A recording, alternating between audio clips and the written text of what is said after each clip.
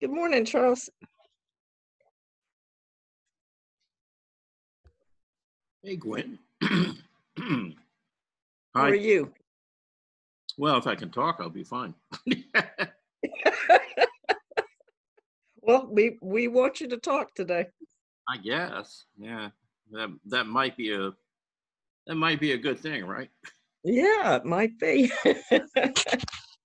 You know, for somebody kind of, you know, basically, you know, facilitating a class, yeah, being able to talk would be, you know, probably a great idea.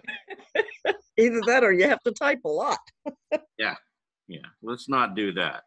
You know. Okay. I I have issues with uh you know basically my computer and and predictive text.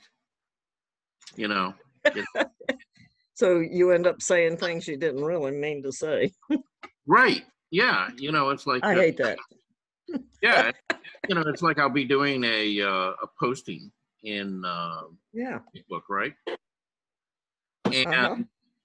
you know, just kind of, you know, typing along, everything's fine, you know. And uh, you know, I get to the end of it and you know, I I read back through it. And What the heck? Where did that come from? yeah, without without fail, there's usually like two or three words in there. It's like, You know, wait minute, that's not right. You know, Yeah. where it just like it thought I was going to say a particular thing. You know, not And it- and it ends up in the Bob? body, body of the text. yeah, Bob is half covered up and half not covered up. Oh, I, I'm, I'm, I'm doing a, I'm, I'm doing a, a scratch board here this morning while I'm Oh, listening, so Okay. okay. anyway. Well, we're just just yakking away. well, I I got my uh my dog, 62 pound dog in. Oh, good. interesting weekend. Is it And this behaving? morning he doesn't like to go out because the neighbors look like they're digging a pool. And he doesn't like the loud machinery. Oh, Mm-hmm. yeah. So every every hour is something new. Yes, But he'll be good. He's sleeping by my bed. And, okay. uh, I'm sure he doesn't like that at all, right? No, he doesn't like that. Looks like he's he's uh, he's seven and a half. So he's he's had history with some other folks. Okay, And I'm just having to. I've I've done lots of rescue in my life, and I owned a top winning show kennel uh, that had uh, was mostly miniature schnauzers, and then we had a couple of giant schnauzers. So, uh, but rescues, you just never know what their history is, even though you get the best history you can when you adopt them. right. Well, however, I've, my experience with rescues has been extensive also. And, Yeah. and, and, uh, I've, I've noticed that they seem to appreciate a new home that's caring for them, and they know that. I mean, they know that when they walk in the door, that the new. The new master is going, or mistress is going to, uh, is going to be good to them. And so, uh, and they take advantage of it.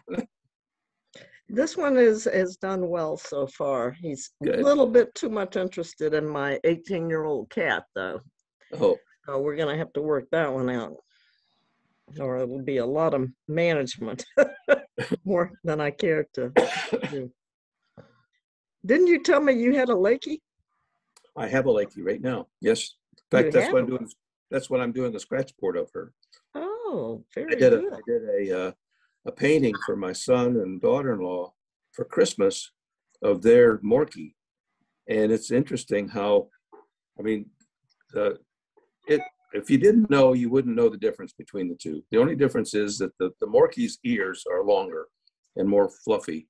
And my little Lakey, I mean, her ears are perked up like lake cones are supposed to be. And, um, but however, the color is identical. I Hmm. mean, The so- reddish black, huh? uh, no, no, these are both blonde. They're both blonde. Blonde. Yes. Oh, because you uh you probably clip her. Uh, yeah. Well, I clip her, but but uh, you know you- can tell when they start to grow out that she has a little bit of brindle in her in her, but uh, but not very much. And it's interesting. I was watching. They had a show that they they broadcast. Uh, I don't know that. Well, I'm a member of the Lakelands or Lakelands Rock uh, group on Facebook, and they posted a, a show, and there was uh, best in best in class uh, proceedings, and there was like maybe eight or nine Lakeys that were lined up waiting to be shown, and every single one of them was brindle. Not a single blonde, not a single d- bicolor or tricolor in there. Just they're all. The, I mean, they look like look like somebody just took a picture of one and then put it. Replicated it. well, that sounds good. Yeah. I've I've just about in my entire 72 years had dogs. So uh, we went down Friday and and kind of interviewed this guy, except he ended up interviewing us. and I came home with me, so I've got him for 14 days on a trial basis, Okay. and he's already been out. Let's see, his little the short history is that he got turned in. He had a four or five year old kid. Then they had a surprise pregnancy, and then they the adults turned him in, which I can't understand, but you know everybody's different. And um, so he's had been at the shelter for about seven, eight months, and out twice already on um, 14 day foster trials. So uh, when I took him, I, I knew uh, oh, I've got a master's degree and and it's mostly uh, primate behavior, but I, it it carries over into dog behavior and cat behavior and kid behavior. I'm Speaking of gonna my behavior, speaking of behavior, What? I'm- I'm going to break in. We're going to start class now. yeah, go right ahead. Hey, We're having Claudia. a delightful conversation. Just go, just go away. Just go away, Charles. I know. I know. Yeah. Anyway, good morning. It's uh, for those of you who are unaware of it. It's actually Monday morning, and uh, you know, I guess you did know what day it was because you're here and you you clicked on the right Hey. So, um, speaking of links and things like that, uh, have all of you been receiving uh, emails from the Benson Center um, and, and getting emails or links on a weekly basis for classes and stuff? No. Yes. Well, I don't, but I don't deserve it. I'm, no, I have, and I've also been getting some phone calls. Okay. I've get, gotten phone calls, but not um, not even weekly on those. okay. And Elon, I don't get, I don't get anything. you don't get I it. got, I got an email asking me to verify my contact information, and I did. Okay. So I do get it quickly, Okay. Did do you get that's all. the things from Sabrina on a? It usually comes out like Monday, and she'll. Yeah. send out I, a- I, I, I get that, I haven't checked this morning, but I, I, I, I do get that, I'm just checking now and see. Okay. All right. So I Elon, don't, I don't get it. yeah, Elon, um, I'm going to pass your name on to Sabrina, but it would probably be a good idea if you want to receive that stuff uh, for you to call the Benson Center and talk to either Ron or Sabrina or Sharita, and you know basically you know tell them that you haven't been getting the updates on classes and stuff. Yes, I, Okay. rec- yeah, I received mine this morning, Charles, um, um, yeah, this morning for the week of January thirty-first. Okay, all right.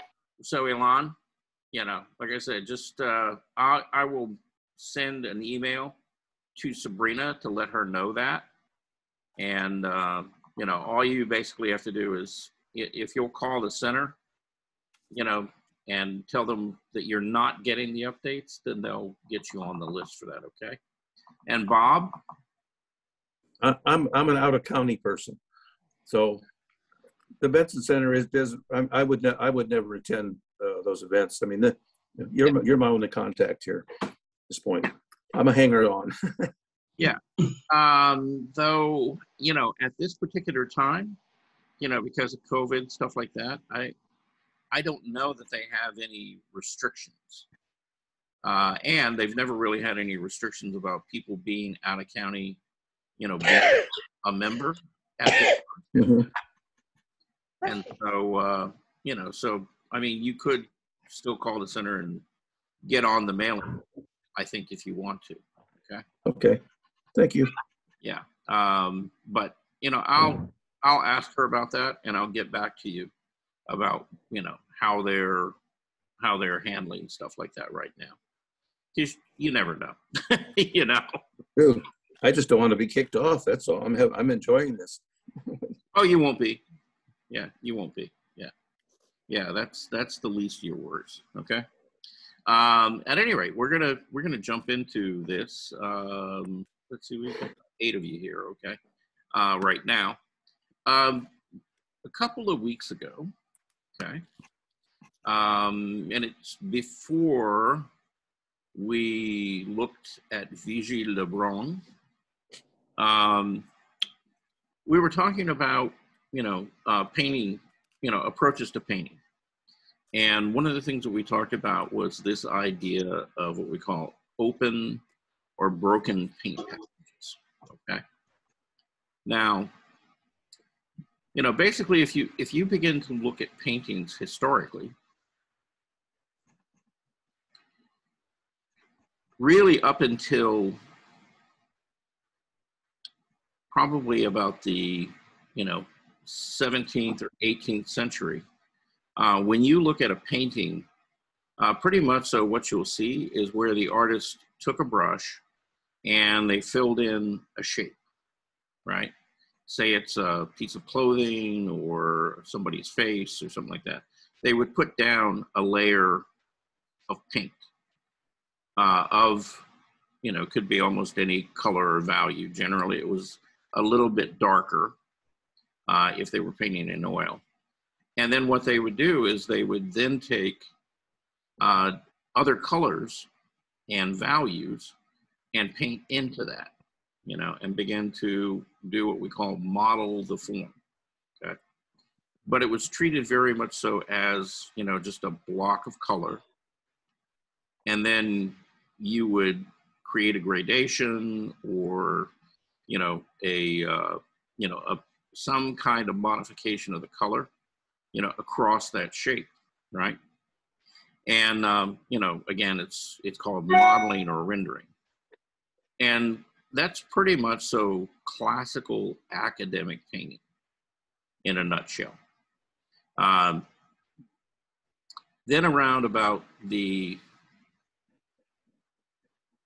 late 1700s, early 1800s, um, artists, you know, particularly oil painters, began to experiment with what we call optics, right? And optics basically meaning, you know, just the appearance of the surface, right? And they began to make observations about the fact that if I take and rather than fill in, you know, this shape with a color and then take and create gradations and things like that by adding, you know, wet paint into it and modeling it. Uh, instead, if I just take my like two different colors, like blue and yellow, and I began to put little paint strokes down, you know, in that area, uh, depending on how many blue strokes and how many green strokes, I can create the color green. Okay? Uh, because what happens is that you know the colors optically mix right? And this is what we call you know basically you know using broken uh, color um, you know a, a contemporary term is what we call an open or broken paint passage okay and that's what we're talking about today and we're, we're going to talk about some artists who actually use that and i'm to show you some examples of that and then I've got a couple of videos uh, to share with you where people are sort of demonstrating that process. Okay.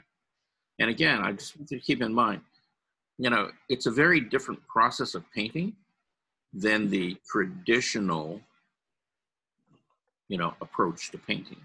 Uh, it's a more contemporary uh, process. And when I say contemporary, when you look at most working artists today, um, a lot of them are, you know, basically relying on the science of optics and the use of color, you know, to begin to create the illusions and the images that they're creating.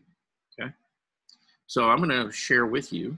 Uh, this is just okay. We got a, a question here. It's uh, how does this style broken uh, compare to pointillism? Um, well, it compares just fine because actually pointillism is one of those particular styles, as well as impression, impressionism, where you're using what we call open or broken paint passages. Okay, um, those were actually, you know, well, impressionism, which pointillism is part of, was actually one of, the- well, probably the first major art movement to begin to use it. Okay. Um, and that's why their paintings were so different than, you know, the paintings, you know, in the salon at the academy. Okay. So let's take a look at this. All right. So, uh, so here, everybody see a big block of color?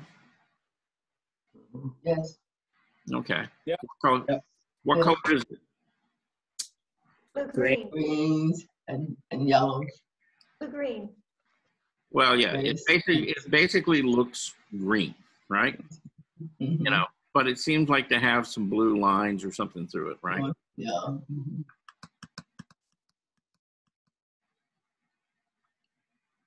It reminds me of a piece of cloth. Yeah. But it's, it's basically just, you know, lines of blue and yellow. Mhm. and you know where the where the yellow overlays the blue field uh, and it's just like one layer. You know it basically optically mixes because the color you know when they laid it down there was sort of mm, translucent or transparent. And so it really turns green. But the more layers or the more those yellow bands intersect the closer to you know pure yellow it becomes. Okay. Um, let's see. Now, everybody see a little green spot? Mhm. Yeah. Growing. Yeah, same same square. You know, basically done kind of the same way. You know, and so when you back away from it, you know, it reduces down to looking like it's green, right? Um, you know, no real mystery there. You know, that's kind of what's going on. Is that you've got a bunch of, uh, you know, yellow and blue dots. You know, but optically, if you if you back away far enough, you know, you begin to optically see green there. Now you can do this with other colors. You know, it's not just you know yellow and blue. You can do this with any combination of colors. You can use it with two colors. You can use it with four colors. You can use it with you know three. Um, you know, the the more colors that you begin to add together, you know, the wider range, you know, and variation you're going to get. So here are a few examples of painters who used, you know, what we call open or broken paint passages. Now, this is uh, Childe Hassam. He was an American impressionist. And when you begin to look at this, this looks a lot like a pointillist painting, doesn't it? Does. Yeah. Yeah. You know, you begin, you know, you begin to see where he introduced, and this is very pixelated. I wish we could actually get a really good high res image of this, but Mm. you know, he had a variety of colors, you know, in these areas um, to kind of create that illusion of that particular yellow or green or blue. and optically, you know, when you begin to back away from the painting, see, it, the colors begin to affect each other. And you know, they they work in changing not only the perceived color, but also the intensity of, of the color and the value of the color. Um, Almost, almost looks iridescent. Yeah, and one one of the things about using what we call open or broken color like this is that you know artists observed that by using different combinations of colors in these areas, they could create this, you know, vibrant, more intense look to the color than if they had just mixed it and slapped it down there. Um, it's that interplay of those direct complements uh, that really, you know, make this work, you know, because of the contrast. Uh, here's a another example. Okay, now this Yeah. you've never seen this guy's work. You know, this is Vincent Van Gogh? But Van Gogh's work was, you know, full of, you know, what we call open or broken paint passages. Okay. You know, that sky is not really just yellow. You know, it's yellow, but it's maybe got a little bit of green in it and, you know, other things. Um, Ochres. so, you know, each, each of these combinations of color optically, when you step back away from this painting, begin to create, again, you know, slightly different shifts of color, value, and intensity and temperature. Uh, here's a Renoir. Okay. That's in Venice. Mhm. Doge's Palace. Yeah. But again, you know, looking at this, you know, very open, kind of broken paint passages. Now, you know, did he sit and just make little lines or dots? No. You know, use brushstrokes. Uh, and notice that because he's got, you know, all of these different size brushstrokes, um, like in the sky, for example, you know, there's a lot of really small brushstrokes there. And these slight little differences in direction and color kind of imply movement, you know. Uh, the same thing with the buildings. You know, these were not painted in as a solid block. You know, there's yellow and white and probably orange and red and all kind of other colors, you know, to make, you know, this particular perceived color. Uh, the same thing happens in the water and along the shoreline. But we've talked about this before. And notice both at the top of the sky up here and also in the water down below, how the paint strokes begin to get larger.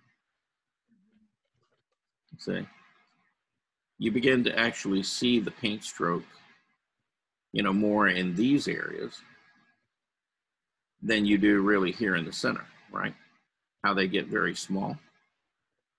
Can anybody give me an idea why why he would do that? We've talked about this before. Give the illusion of coming forward. I'm sorry, what? I give the illusion that that's coming forward, that that's close. To you. Right. Yeah. Yeah, because as these as these individual paint strokes begin to get bolder and larger, they appear to be closer to us, right? You know, as the paint strokes begin to get finer and smaller, Further away. yeah, they begin to recede. So yeah, it's it's it's the human. But it gives movement, it, it gives movement also Mhm. because of the directional and the size. Yeah, It gives but- movement to the water and the sky. yeah, but it's it's mainly because of the the scale difference. you know the size of the paint strokes um, that again you know it's it's working with the human brain and we you know our perception is they're all paint strokes right but because there's bigger ones, those paint strokes appear closer to us. Smaller ones appear to be further away. And so that's that's something I want you to begin to look at, you know, and particularly like in impressionistic or pointillistic paintings, you know, when they wanted something to recede and go away, you know, they used a pretty small brush, you know, and and built those colors up. So there's lots of little paint strokes, you know, back in these areas that you would perceive as having, you know, a high amount of detail, you know, so that they recede. Uh, here's a Monet. And uh, Monet actually painted a lot of seascapes. Uh, you know, did a great deal of uh, plein air painting. But you can see that, you know, all, all of those same, you know, approaches, you know, carry, carry through on this painting as well. See, you know, his cloud and, and all of, you know, his sky. Again, mm, less contrast. You know, the, the paint strokes are generally kind of smaller, they meld together more as he begins to come you know to the top of the canvas the clouds get larger the paint strokes get bolder. See again what that's doing is that's taking the sky and rather than making it look you know flat and two-dimensional it's doing this it's tipping the, the sky forward and backward you know so that it moves back in perspective uh, as it goes to the horizon line. Same thing with the water See, again, you know, smaller, um, you know, less distinct paint strokes as you get, you know, to the foreground, you know, very clear, you know, paint strokes, you know, and the scale and the size of them are larger. So, uh, another Monet. This is one of his uh, one of his many many haystack studies, and uh, as you can tell, just looking at this, um, he liked to put a lot of paint on the canvas. You know, but again, you know, look at how he used the color, and how much more textural this area is, and look at all the color involved in Look at Now the he- sky. it. hmm Yeah. Now he didn't use just red, yellow, and blue. You know, he liked he liked to mix his colors, and like in the mountain range, he makes this gray. But what does he make it out of? You know, greens, blues, pinks, oranges, yellows. There's everything in there. Um, the same thing is true here in the foreground. But notice the difference between the two. See, this generally, well, the color is generally lighter in value. Is it more neutral? Not really. Okay. Uh, it's warmer in comparison to this, which feels cooler. Okay. But what's the difference? It's all the same colors, but his paint strokes are larger. He has a probably a higher concentration of blue in in this overall mixture. Okay. And so using those Yeah. same colors, he gets a very different effect. Like that. you know and that's you know that's true really all throughout the painting so and you know locations near you. How how many how many people have seen a purple haystack Purple what? Days ahead. Nighttime it may look that way. A purple what? At nighttime it may look purple. yeah a, pur- a purple haystack Oh, haystack. Oh, a haystack. Yeah. I didn't know what it was. yeah i don't know about i don't know about you but you know when i go driving around the country you know uh, those round bales of hay and stuff for some reason just don't look purple to me most of the time That's because you're in the daytime. Well, I'm in the daytime, you know, and I'm, I'm, I'm probably not doing any mushrooms or anything like that, you know, to help my, you know, my perception of color or anything, you know, shift or change. But, uh, no, I mean, this was at, you know, this was at, you know, either early morning or sunset. Yeah. I would, I would venture to guess early morning Mm. because of all the yellow in the sky. Um, and what do we know about shadows? Darker. It's darker. It's darker. Yeah, but but if if like for example in the morning But you have predominantly yellow light, the shadows are going to be what? Lighter. purple, opposite color, purple. The direct complement. Yes. Mhm. Yeah. So if you if you have yellow light, you're gonna get you're gonna see more violet or purples in the shadow, right? If the light is red, then your shadows are gonna be kind of greenish. You know, if the light is blue, then the shadows are gonna be orange. Right. He's got green in there too. Uh-huh. Yeah. He's got green in that purple too. He does. Yeah. Kind of a kind of a go very with the red that he's got across the middle of the haystack there. right. Yeah, because they're Yeah, direct they're direct complements and what do they do? Right. Right. They work to cancel each other out and create overall the appearance of a gray or neutralize the color. But you know, when you really begin to look at the color mixtures itself, you know, they're not that neutralized. You know, they're really, you know, pretty strong, you know, pretty intense color.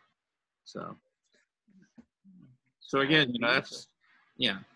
Yeah, you can get, you know, I mean, and, and again, you know, that's why a lot of contemporary painters, and contemporary being from, say, the early 1800s through to now, you know, have adopted this process, you know, for using color in painting because you get to play with those, how colors react, you know, against each other.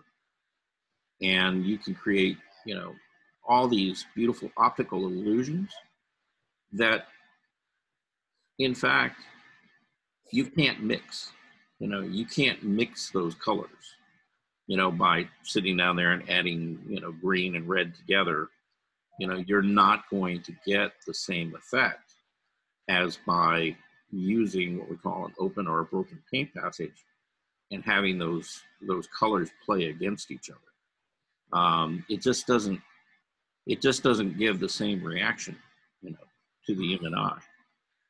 Um, and you know here's my my last example now. You know this is very much so a uh, you know what we might consider a, a pointillist painting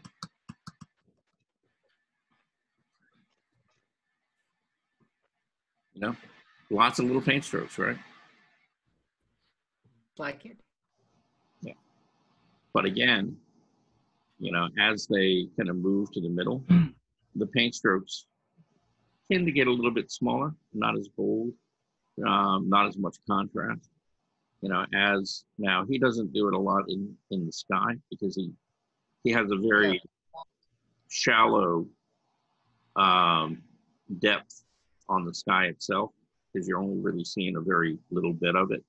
But as he moves to the foreground, see how much bolder the paint strokes get and larger. Again, you know, adding to that illusion, you know, that, you know, the areas here toward the bottom of the canvas are much closer to us than, say, back here. Helps with the optical illusions. Right. And so, you know, what what you can do with using paint this way is is really fascinating, really interesting. And you know, I mean, really the sky is the limit, you know, on what you can do um, with this and the contrast and, and the, you know, just the excitement and the vibrancy of the color in the painting. And you really can't get it any other way. Um, so we're gonna we're going to look at a couple of videos. Okay. Let me uh, let me close that window so I can get to other stuff. But you know, I wanted you to look at those. Um, Wonderful. so you you know you kind of get an idea of what you can really do with all this stuff. So uh, the first video that I'm going to share with you, it's about 20, I guess about 25 minutes. But you know, Hmm. let's see, where are we? Right here. Ten thirty. Is that what you're saying? Uh, you mean for when it finishes? Yeah. about- No, it's ten thirty now. I- You were saying it says uh, twenty-five minutes from now. It- It's No, like. no, no. It's no. It's it. It will take 25 minutes to play. Okay, okay, Yeah, it's 25 minutes long. good. Okay. Okay. Everybody see some trees? Yep. Mhm. Okay, good. We're all on the same page.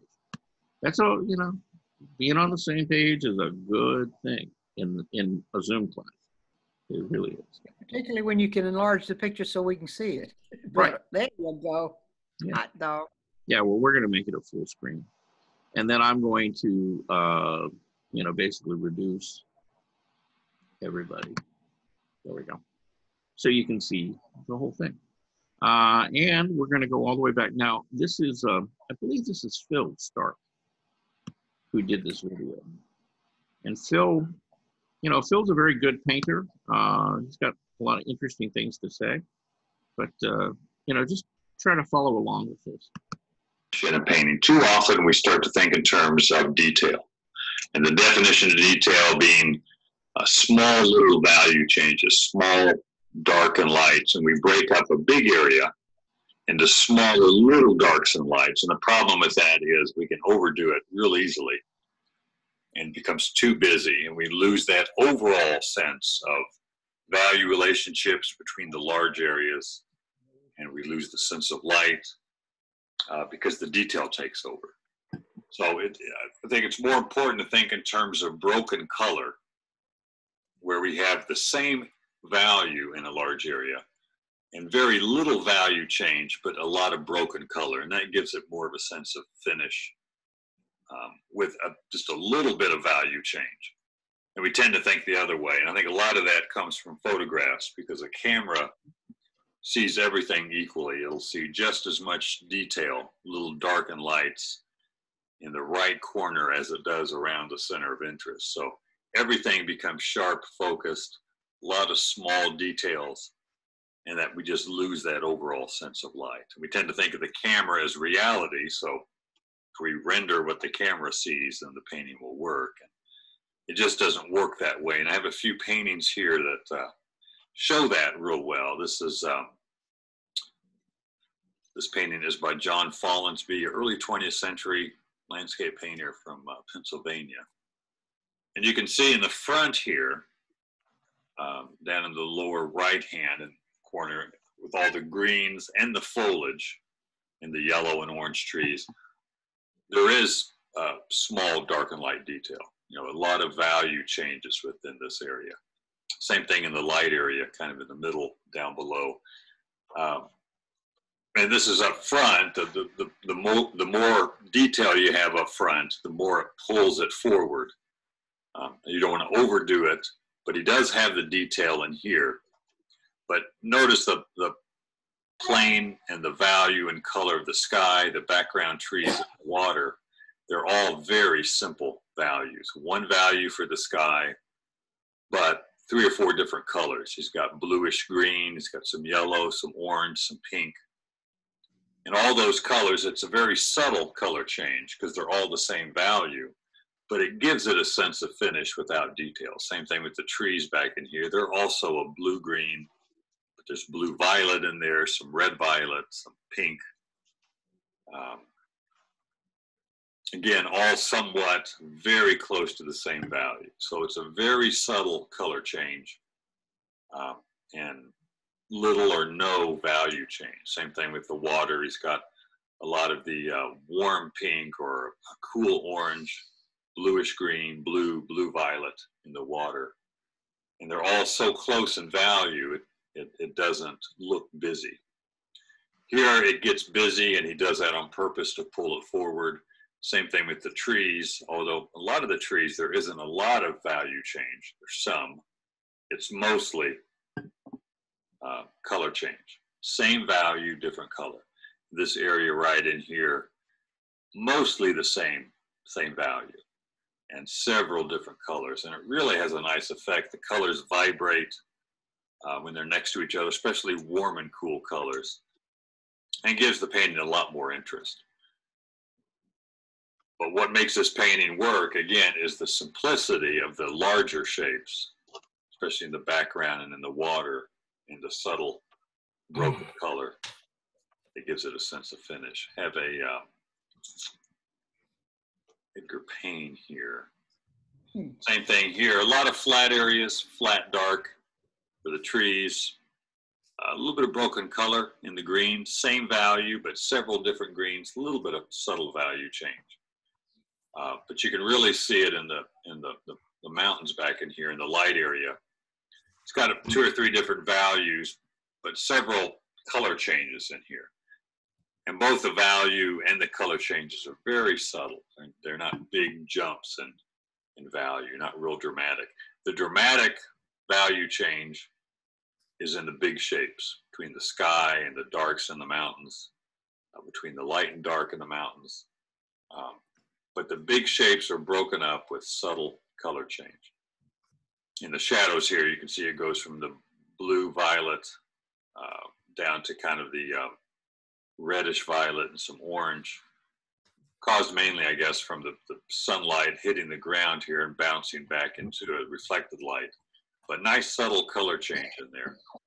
Subtle color change in the light area, the light area in this rock down here in the left, lower left corner. It's an orange rock, but there's there's greens, there's yellow greens, uh, some violets, so a lot of color in there, but he it has still an overall sense of of uh, real light, warm orange color. Very little detail anywhere. No, not a lot of small, little dark and light accents.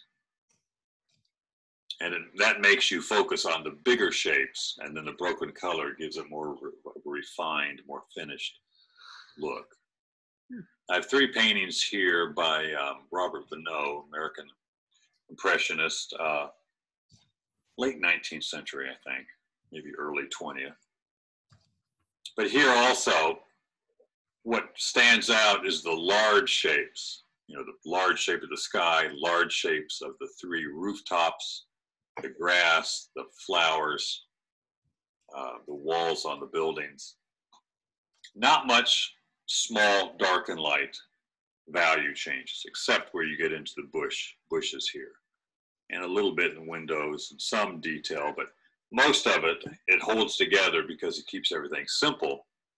But then he breaks up those large areas with color change. A little bit of value change on this roof right here, darker and gradually getting lighter.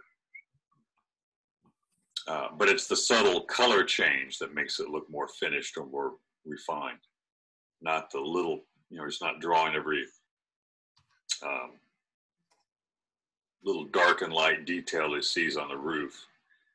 No value changes under every shingle.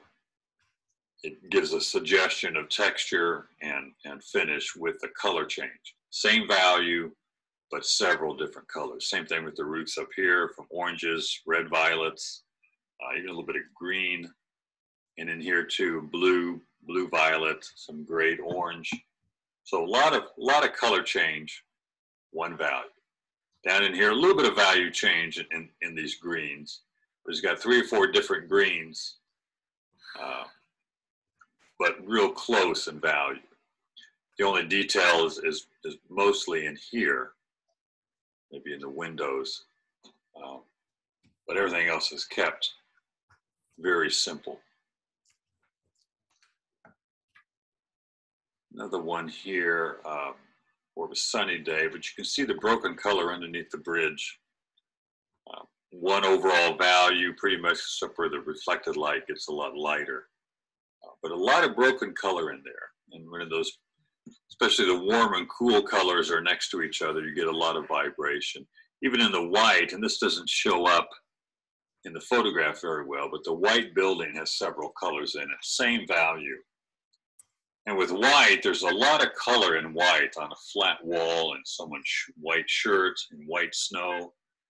Uh, but it's so white, you have to have so much white in your mixture that um, just a little bit of color gives it a subtle color change and you don't notice it as much because most of these mixtures are, you know, 90, 95% white. And the white really desaturates and knocks down the color. So it's real subtle. Um, you can see it in the uh, shrubbery here. It's an overall kind of an olive green, but there's a lot of orange, yellow green, green, uh, a lot of variety in that one value of green. Same thing with the water down here. Uh, broken uh, red violets, oranges within that blue water. So you can see a, a, a think through a lot of, of uh, detail just by adding subtle color change. This is another Robert Vonnoh.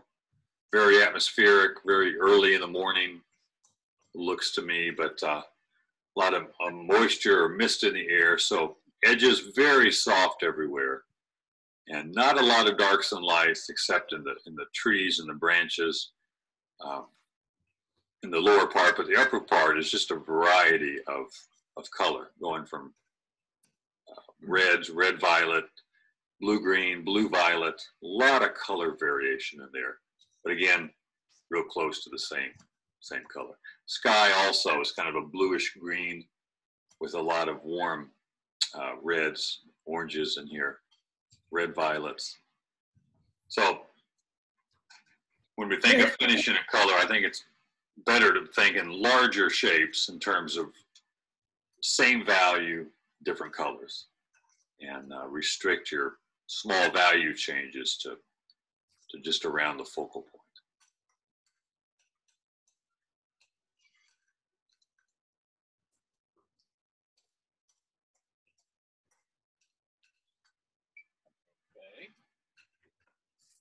If you see this plant in your backyard, don't step on it. This Uh, neglected plant is more delicious and on. nutritious than most garden plants people care for. Facebook in their ad. All right. Hey, I wanted to start this video today. That's uh, just, uh, to- Time to lo- to learn about gardening. You have a lot to learn about gardening? Yeah. No, I don't mind to learn. I like it. Okay. Yeah. Well, yeah, you'd you'd be amazed at how many plants out there that people consider to be weeds are actually, you know, very edible and good for you. Let's see. Uh-huh. Get back to the class here. All right, let's close that window because we're So not. gonna- Charles, if you were going to, if you were going to summarize what that man was telling us, Mhm. is, is same value, different color in large spaces. Yeah. Is that right? Is that right? Oh, yes, he was, okay, yeah. He was talking about a variety of painters who painted more or less in the impressionistic approach, and they all used that same technique of what we call open or broken color. And the thing that made their paintings interesting is rather than just sitting there and mixing a flat color and slapping it on the ca- pardon me, slapping it on the canvas and going, okay, so there's a blue gray and that's my mountain. I still confused now with Rebecca mentioned it with what when you you say I'm talking about, about value value and about temperature. I still Okay. still don't get it. All right, well, give me a minute because I'm going to try to explain it to you. So, so we could, you know, we could mix up a, a bluish gray for our mountains in the background in a landscape and, you know, just paint it all in, right? Mhm. But what kind of effect does that give you? You know, you see a shape and it has a value, it has a color or a hue. Oh, boy. You know, it also has a temperature, but it's a flat shape. You know, there's not a lot of interest. It doesn't have any real form. Um, you know, and you can't get that out of just painting in flat blocks of color. Um, he showed a painting, it was probably the second painting that he showed uh, by an American artist. Uh, his name was Edgar Payne. And Edgar Payne did a lot of uh, alla prima uh, plein air paintings. And the one that he showed, you know, was this mountain lake with the mountain and stuff. And, um, you know, a lot of these paintings were done literally within, you know, like two to three hours. You know, that's all the time he had because the light would change.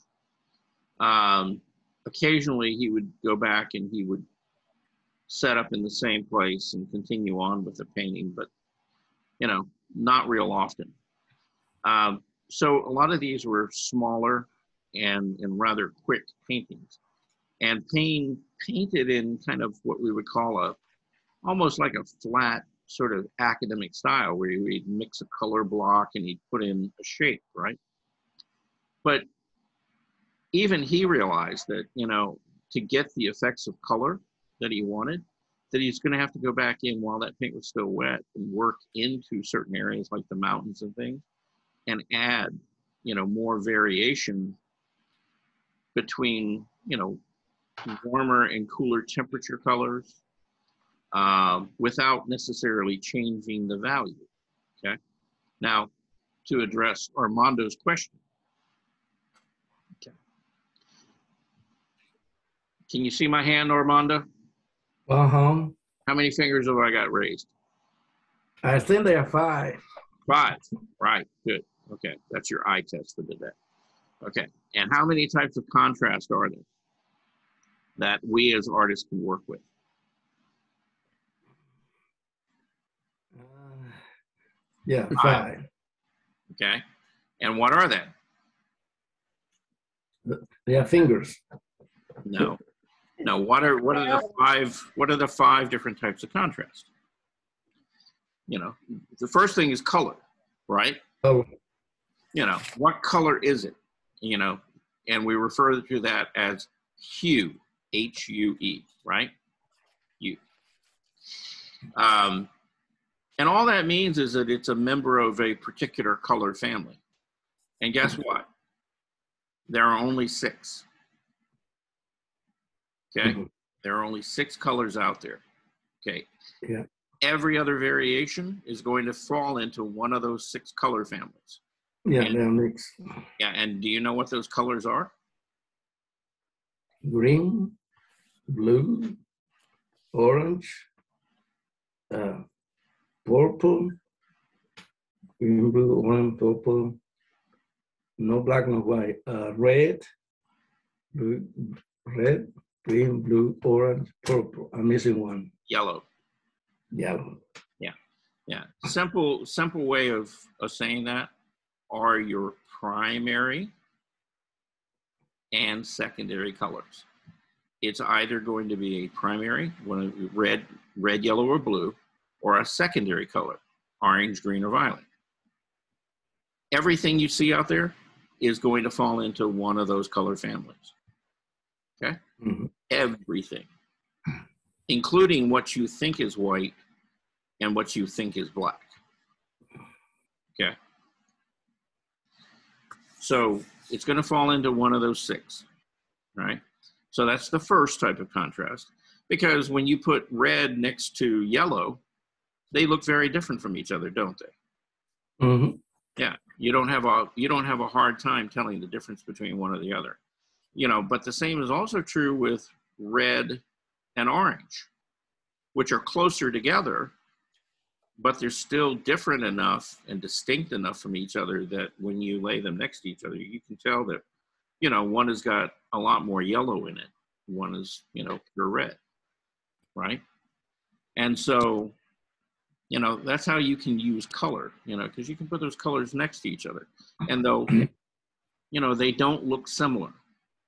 And so, because they don't look similar, they create a certain level of contrast and they begin to do what we call vibrate, you know, or look more exciting than if you just painted the whole thing in as a solid red.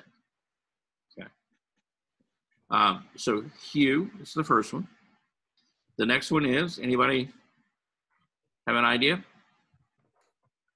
Value? Value. Yeah, we never talk about that, right? Never. Never. Right? And what is value? The intensity of No, color. no, No. No, no, that's not value. Anybody got an idea? The light and dark of it. Exactly. It's how light or how dark the color mixture is, right? You know, it's going to be, you know, it's going to be one or the other. You know, I mean, it could be, you know, what we call a mid-tone, right? But it's either going to be dark, light, or middle value. You know, it's got to be one of those, you know, or some somewhere on the value scale. How many values can you have? An infinite amount, right? Exactly. Yeah. Yeah. You could set up a value scale that has literally millions or billions of ch- real subtle changes in value. Um, but for our purposes, okay, uh, for the most part, we have to have a minimum of five values. Okay. So that's dark. Basically, if we're talking about, you know, black, on the other end, white, and then you have a what we call a mm-hmm. mid-tone or gray that's halfway between them. Right? But then you can find a gray that's halfway between the mid-tone and light. We call that a middle light. And we can find a, a value that's halfway between the mid-tone and the dark called middle dark, right? And so if if you in your paintings will work with a minimum of five values, you can just about paint anything. Just about. Okay. So Now- what was the fifth? Light? Yeah, you got fifth value, the You fifth got value dark- you got dark on one end, light on the other, mid-tone in the middle. And then you got Alright. middle light between mid-tone and light, and you got Right. dark between dark and mid-tone. That's five, right? Okay, thank you. Okay. So, you know, so again, you know, you could do paintings in just five values. Okay. And still effectively create what we call these this illusion of depth, you know. Uh, what else can you create with five values though? Contrast?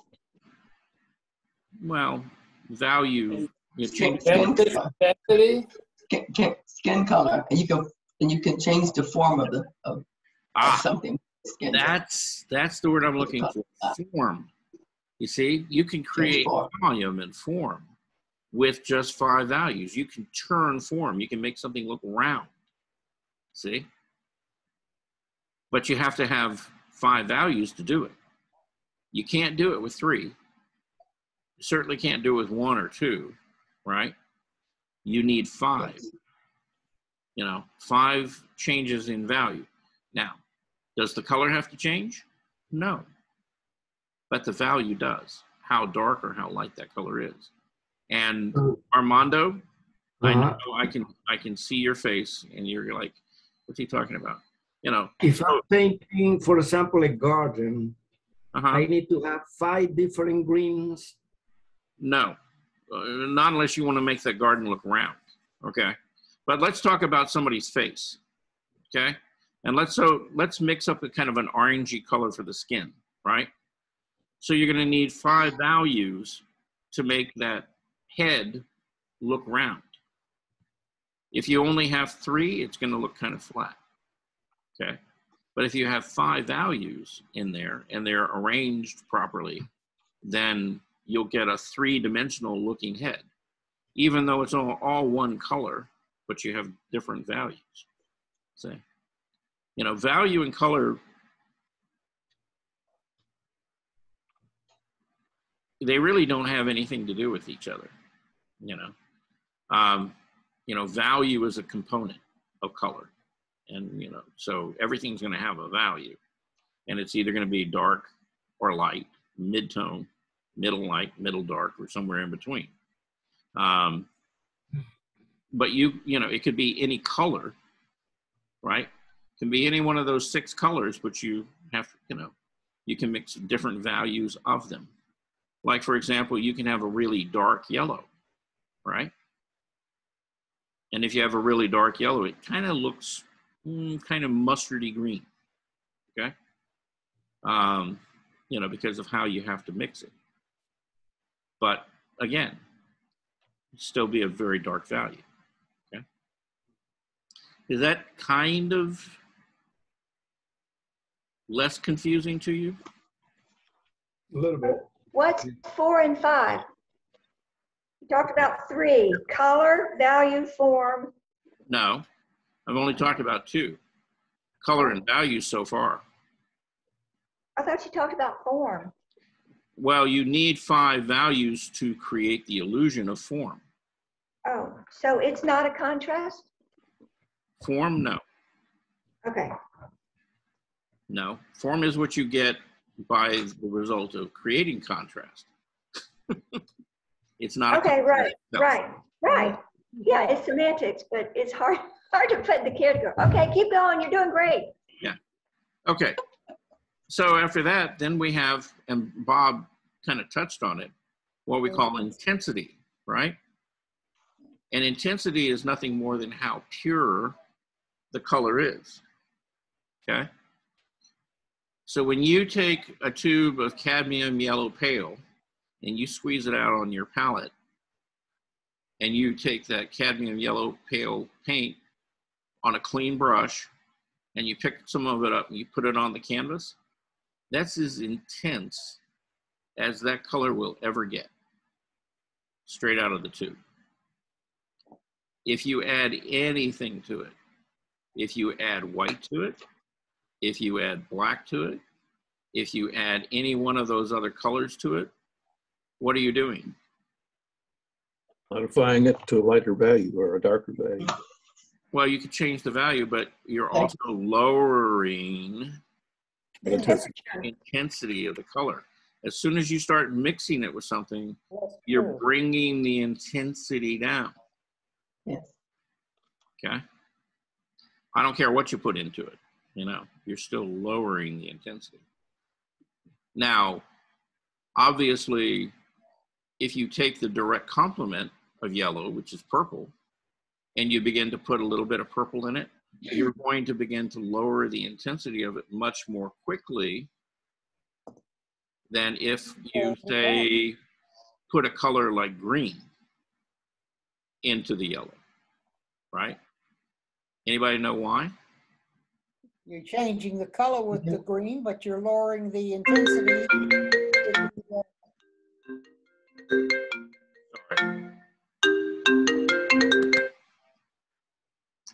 All right, go ahead, Gene.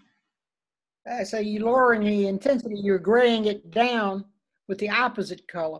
But if you add the green, the uh, blue, well, you said you're changing the color. The yellow, you add the blue to the yellow, you make uh, the green, Okay. make a different color. Not quite yet, but you're you're kind of on the right track. Okay.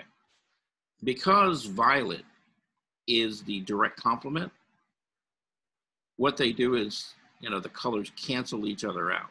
Right. So they become neutral very quick. So if you put violet with yellow, mm-hmm. it's going to have a much greater effect than if you put something that's kind of similar and already has a mixture of yellow in it, like green, for example. Okay. You know, and the same is true with orange. If you add orange to yellow, it's going to shift it, but it's not going to change the intensity of it as quickly as if you went directly across the color wheel and put violet in. Okay. So, where those colors sit on the color wheel and what they're mixed with, you know, particularly the secondary colors, will affect how quickly you're going to shift or modify that color in intensity, um, you know, with your paint mixtures. See? So things that are similar are going to shift it very slowly.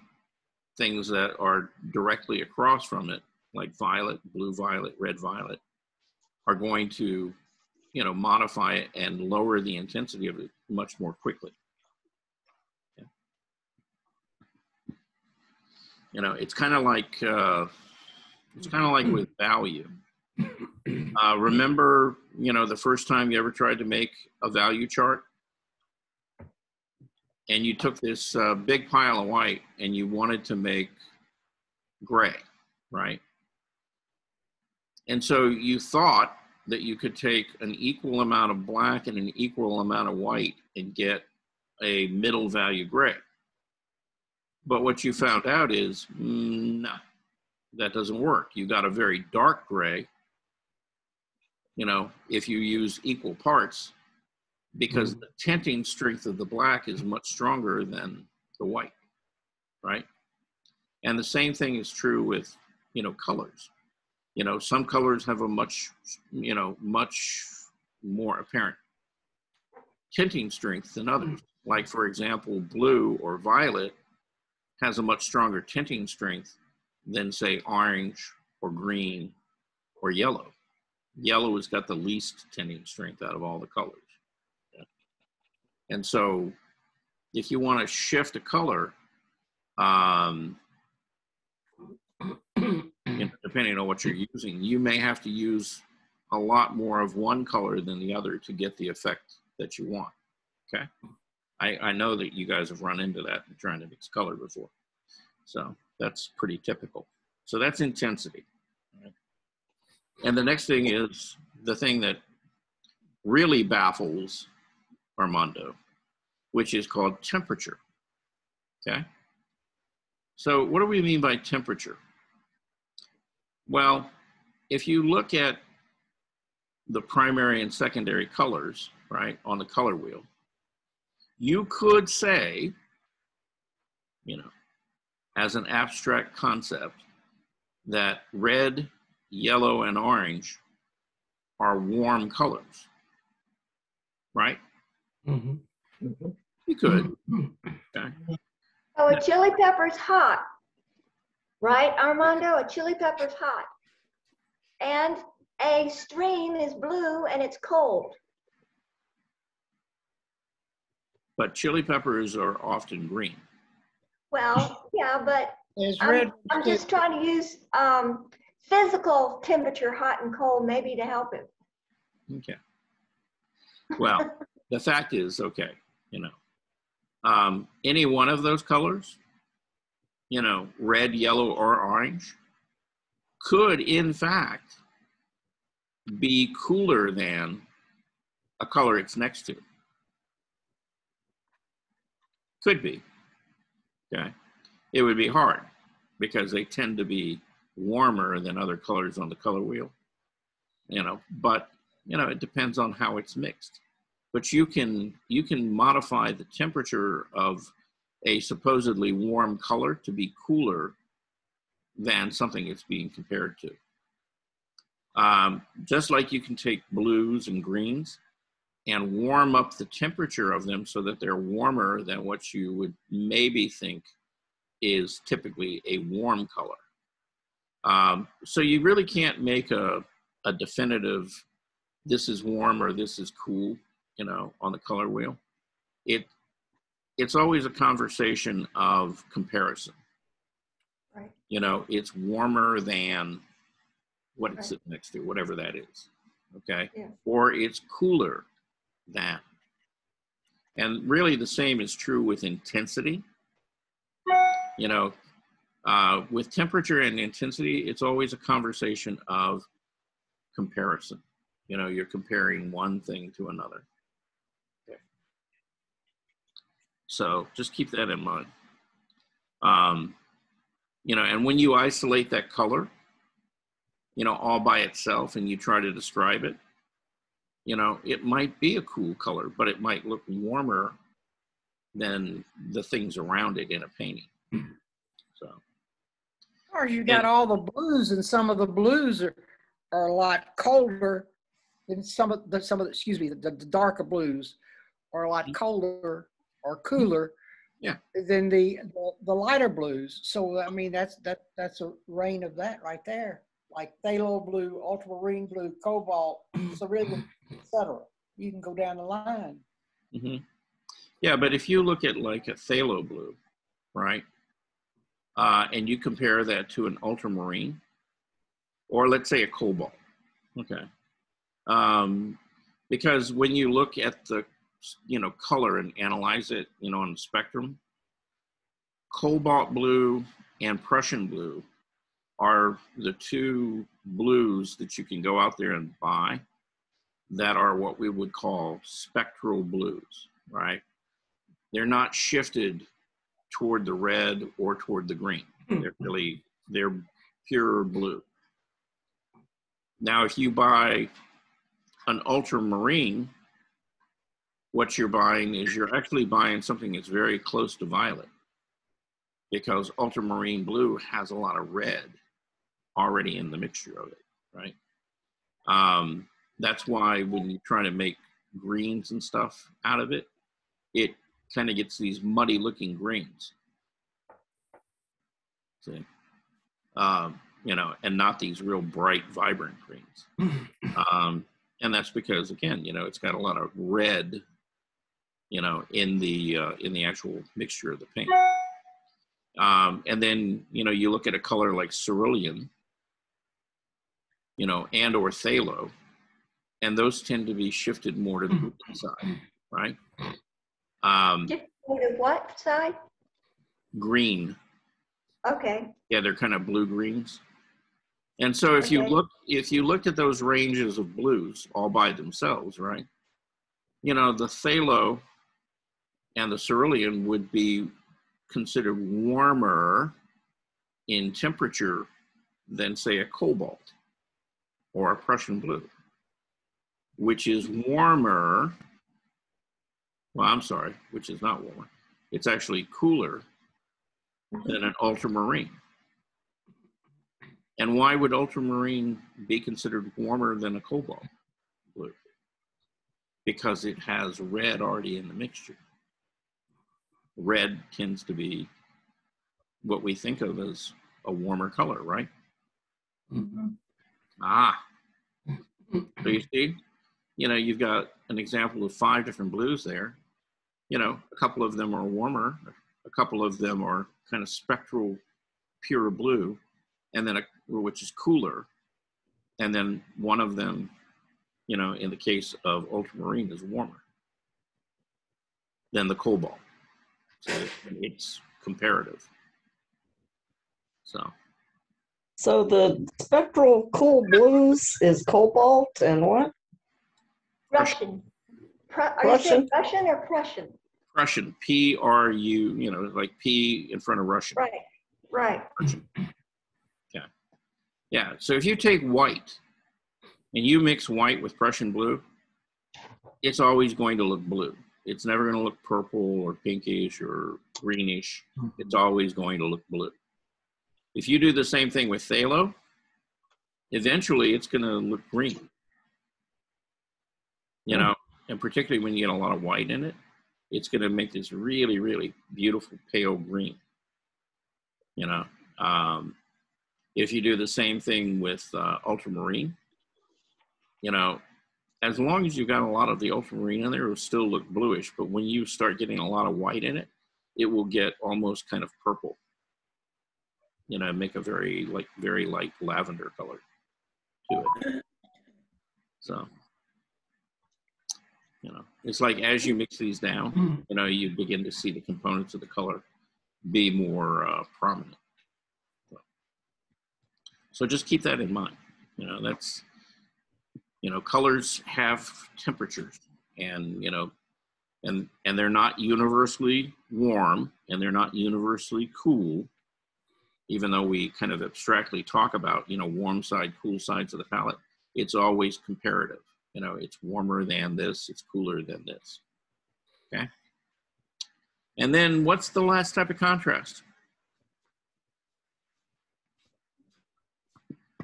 Uh, Light and dark. Rebecca, I don't, I don't, I'm, I'm, I'm muttering. I don't know. I should know, but I don't know. I apologize. I know. Mary Roberts, I know. Value, form, intensity, temperature, no, no.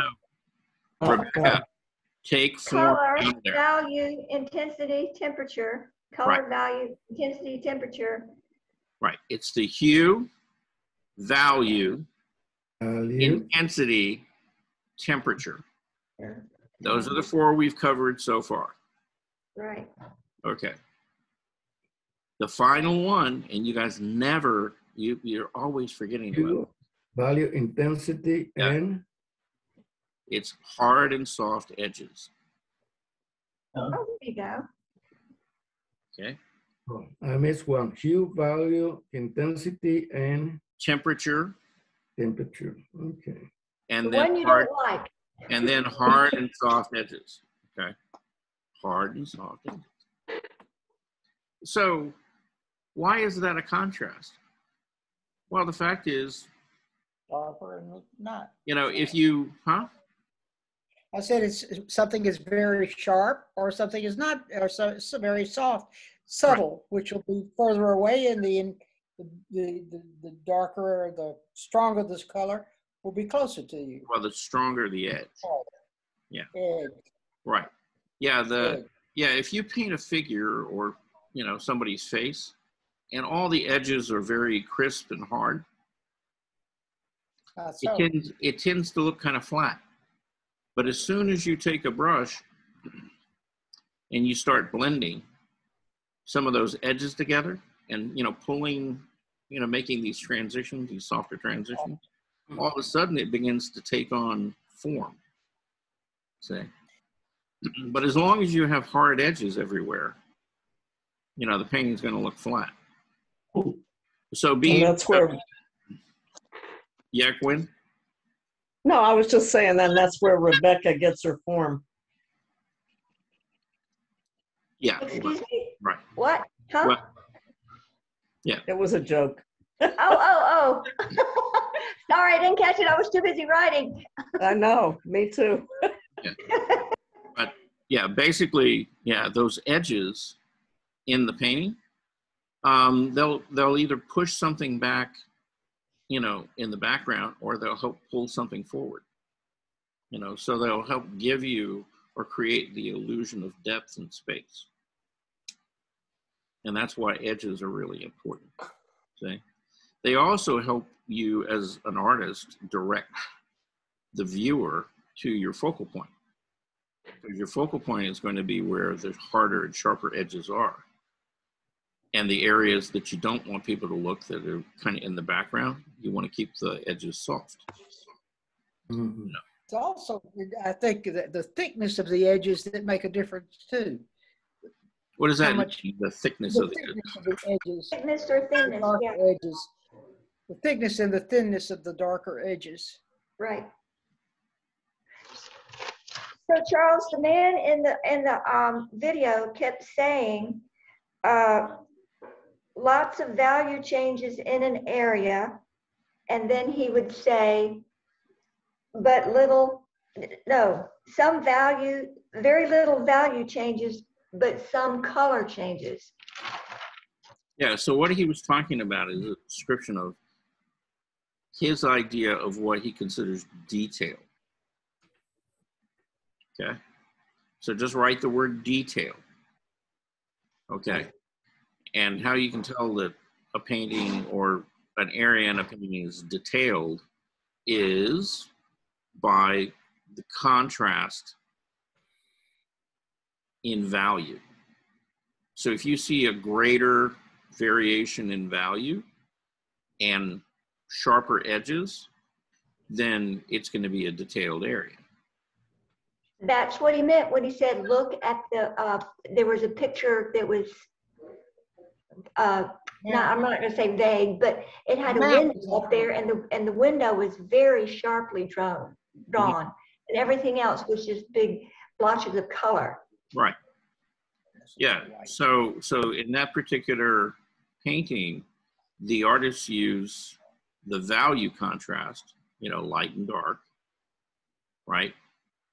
As well as how crisp he laid down the edge of the paint to create this illusion of detail.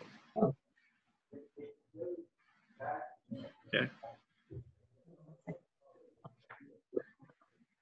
All right.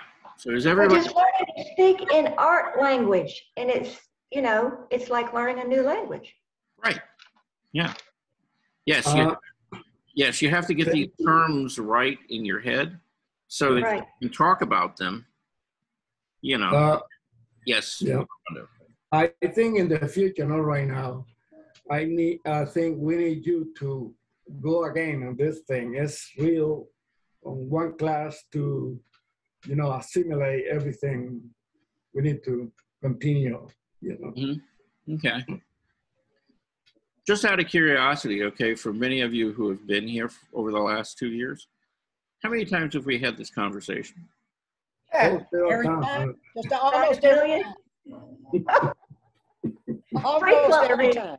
It's usually it's usually at least three to four times a month that I that I that I go over the five types of contrast. At least, you know, minimal. Almost every time when you see a picture and you, you've explained it, it, it's with the, the values and the contrasts and, and the, and Yeah. et cetera. Yeah, yeah. So Charles, it will, it will help us after we have drawn something or painted something to go back and look at our drawing and painting and then say, identify the color, the hue, identify the value, the intensity, the temperature, and the hard and soft edges to mm-hmm. tell the audience what it is you're trying to tell them from your drawing. Right. Yeah, yeah. How you're going to get them to focus on a particular area of your painting, you know, and create the illusion that you want. So, yeah, you you have to understand those five types of contrast. If you don't, you know, and believe me, I I can absolutely guarantee you, there are so many artists out there today painting, you know, and selling work in galleries who don't have a clue about any of those. None, zero. Okay. And you can look at their work and you can tell, you know, that they don't understand those basic, simple concepts. Okay. So, you know, what what we're what we're talking about is, you know, how can you as an artist, you know, practicing this skill called painting, you know, how can you make yourself a better painter and be more effective, you know, at trying to create the images and say the things that you want to say, you know, with your artwork. You know, believe me, you know, if I can get you to understand and thoroughly be able to use just three of these, it will literally change your ability to paint, hands down, and make you a much better artist. You know, even if you don't understand, you know, two of them. Okay. But the really big important ones, out of everything, if I had to prioritize how important they are from one to five, I would say value is number one. Okay. That's the one you absolutely have to understand because if you don't understand value, you're never going to get anything to work. After that is intensity. Well, actually, no, I want to change that. Okay, so, so the first one would be value. The second one would be hard and soft edges. That's the second most important. After that is intensity. After that is temperature. And after that is hue. You, hue is actually the least important out of all of them. It's funny. Okay. Because the fact is, you know, I could paint a portrait of anybody's face In green. in any color. And if I got the the value, the edges, and the intensity and the temperature right, it would look just like them. Okay.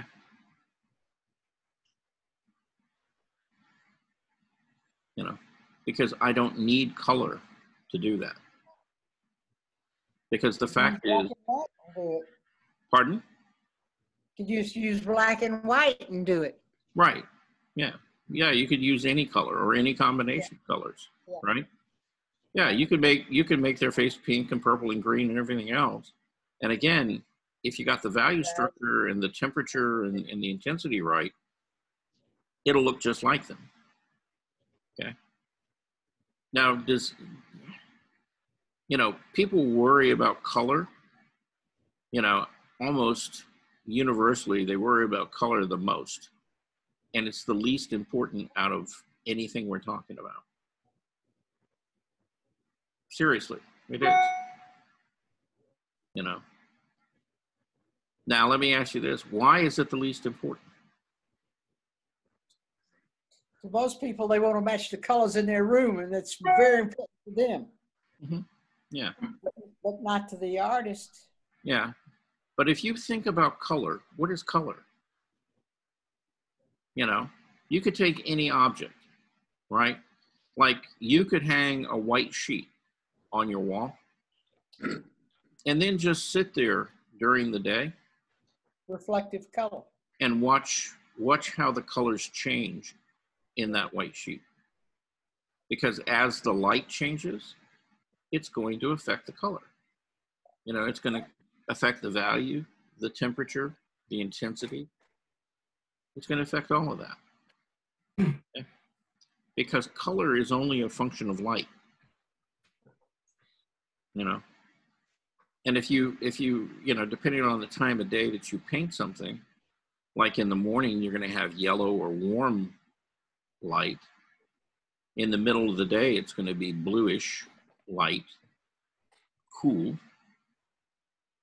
and then in the evening again it's going to be warm light but it, instead of being yellow it's going to be red to violet. So. So light changes everything you know as in regards to color. You know and that's why color is pretty much so when i say that color is irrelevant i mean that. You know it really is. You know? Yet it's it's the thing that you know anybody beginning to paint that's the thing they pull their hair out about. It's like you know i don't understand color. You know if you understand that there are only six colors that's all there is to know about color. That's it. Okay? You know it's going to be one of those six. It's it's going to be an orange it's going to be a yellow a red a blue a green or a violet. It's got to be one of those six. Can't be anything else so all right. Anyway we could we could continue talking about this forever but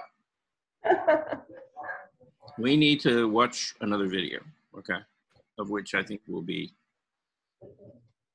okay helpful to you. All right?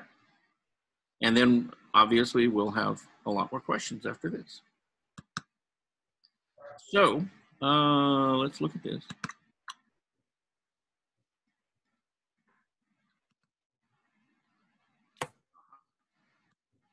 Hmm. everybody see a canvas with uh some yellow and uh looks like on the right-hand side of it. yeah Yep. Yeah. Yellow, white, and black or blue. there's no- Right. Okay. All right. So away we go. Okay. Now read the title. Okay. OCAD Studio Broken Color. Okay. That's the online College of Art and Design. Okay. Which I know very little about, but you know, I thought that this was a, you know, pretty decent video on the subject. And you know, you're going to hear a lot of the same thing. um, just a sort of one-off lesson. And it's going to be an introduction to the concept of broken color, which can And be um, developed a lot. this guy is English and he mutters a lot. but it's actually quite easy to implement and really makes a big difference in the vibrancy of your paintings. Um, so I've got a couple of support documents for this um, this uh, video. There's something that just sort of Yeah. introduces the concept of broken color, which I'll be talking a bit about as I work. And also an exercise sheet so that you can kind of follow along and complete this exercise yourself. but it's fairly straightforward. Basically, I'm um, just in the process of sketching three similarly sized rectangles. And we're going to be looking at different ways that you can lay a color on a canvas, basically. In this case, I'm just using a, a pad because um, which you can use any sort of surface. But we're going to be looking at the difference between creating a flat version of a color and creating a, um, a laying down the same color but by breaking it into distinct um, hues. We can create a kind of vi- a sort of visual um, vibration of, co- of the same color. So when we look at things in real life, we actually see a vibration of different hues and colors and chromas and values all at the same time in different uh, parts of the scene that we're looking at. Charles, could you turn the sound up just a little? That's it. That's as loud as it Oh. gets. It's a Okay, thank you. technique that wasn't used until the late 19th century when the Impressionists um, came along and kind of really implemented it heavily and turned into pointillism and different versions of expressionism and used it as well. But the, essentially the idea is that if you've got, in this case we're going to be making a green, you can have a pure green that you've mixed and painted flat on the canvas. Um, but you could also take those pigments that you use. So in this case I've got uh, white, cadmium yellow, Prussian blue, and burnt umber because I'm going to be making a kind of brownish green. Um, these colours, if placed next to one another across the surface, and particularly if painted into a base colour that already contains their mixture, um, will start to create vibrations. We're going to do those three variations. I'm going to paint one block colour. I'm going to paint another that just uses kind of pure pointillism. So I'm just going to patch the colours on next to one another. Okay, I want to stop you real quick here, okay? And I want to point something out to you. Now, you may not realize it, but what he has here are the three primary colors.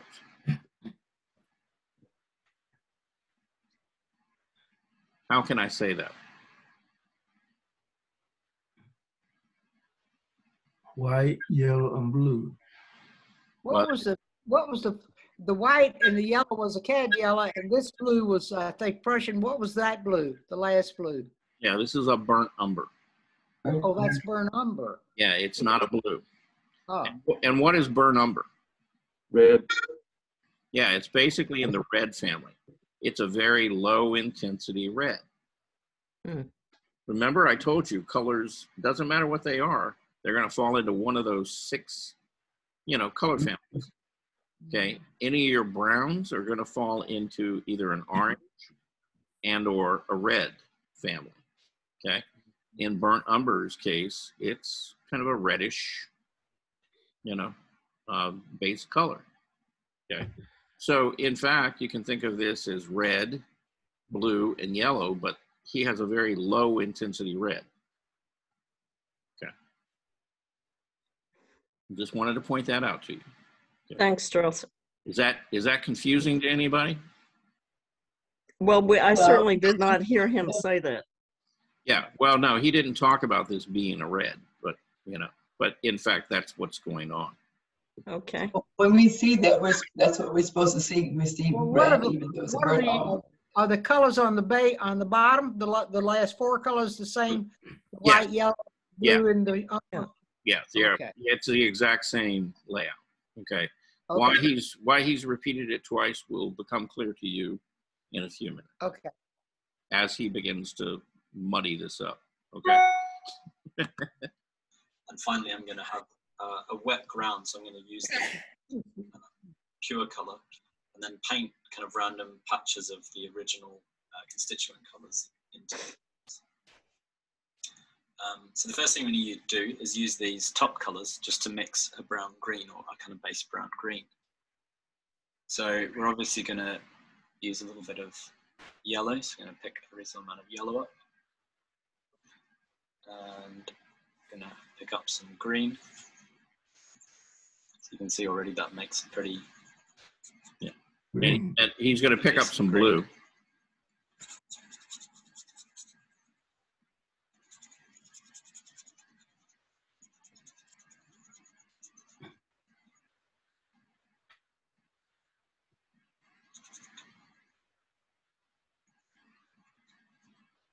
And we're gonna put a touch of burnt umber in as well, just to make it a kind of foresty, kind of brownish green.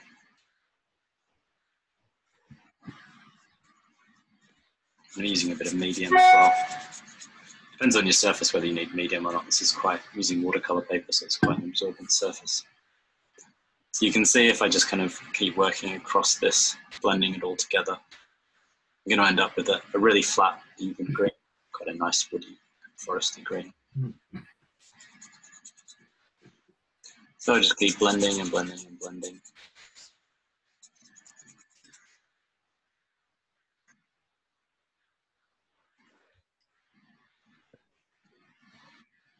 I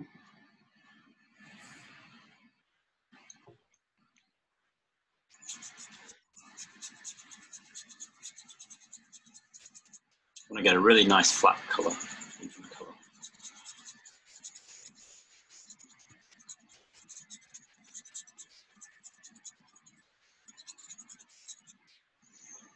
There you go. You can see it's just pretty much a completely flat green that I've made. So it's just a mixture of our uh, cadmium yellow, our Prussian blue, and our burnt umber. And while that's there, I'm going to use these top colors I'm going to mix. Actually, no, I won't do that immediately. I'm going to swap to, so I've been using, I'm using two identically sized brushes. So I'm going to leave this um, flat color brush aside. And um, if you want to be really neat, you want a different, when you're doing this uh, broken color aspect to the painting, you want a different brush each time you pick up a different color. So you'd have three brushes roughly the same size, um, and you'd have one that matches your yellow, um, one that matches your Prussian blue, and one that matches your brown. Now, the only thing I'm not sure about with this, I might need to, um, what I think I might need to do is just lighten the blue and the burnt umber a bit to get it to a value closer to cadmium yellow. So if I start just putting little spots cadmium yellow over the surface, just randomly. So I don't want too much rhythm to this or too much regularity. There can be a sort of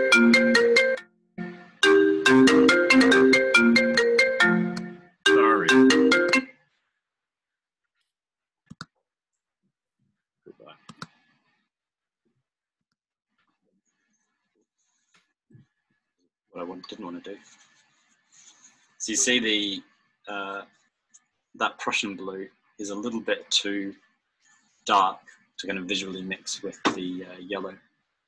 So I'm going to just tone that down a bit with a little bit of white.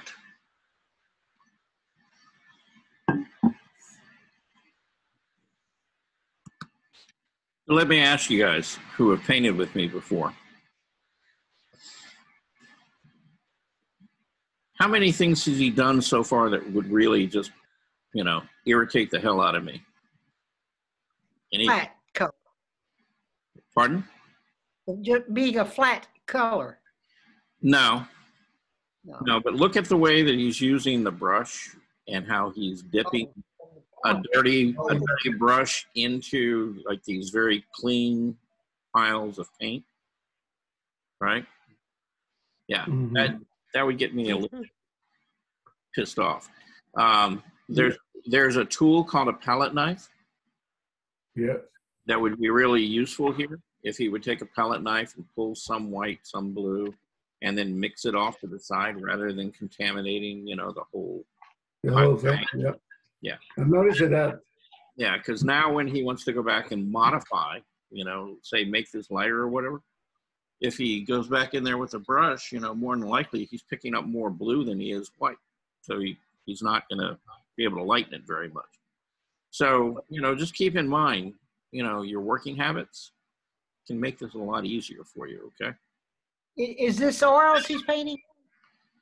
Um, I'm not really sure. I'm I'm thinking it is. It could also be acrylic. Um, That's what I was wondering, but it would dry out mighty fast. Yeah, yeah, and on paper like that, it would dry it out really quickly. You know, more than likely, this is oil. So, okay. but yeah, I don't really know. Okay.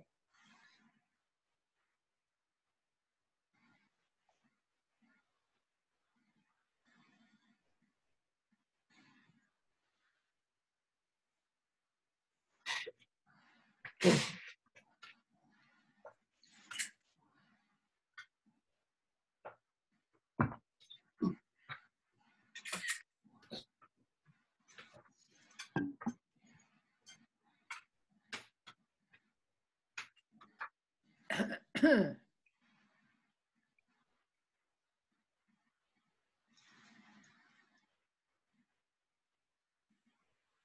if you look closely at pointillist paintings, um, that's pretty much what they look like. So loads of little tiny strokes or dots of color.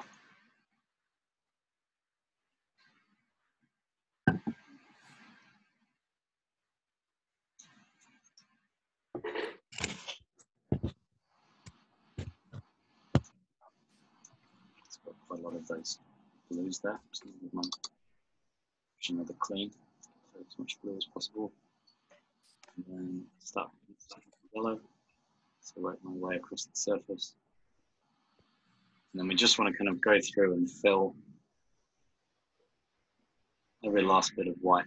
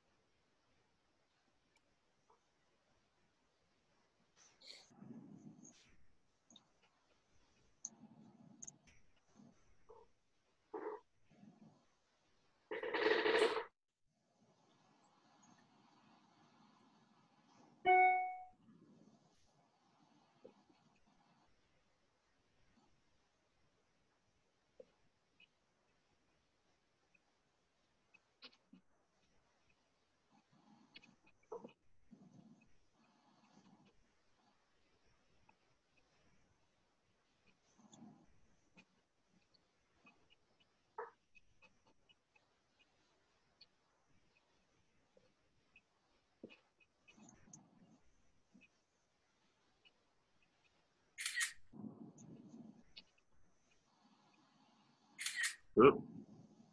See, he no longer has yellow. Now he has green. So you'll get a little bit of natural mixing as you go.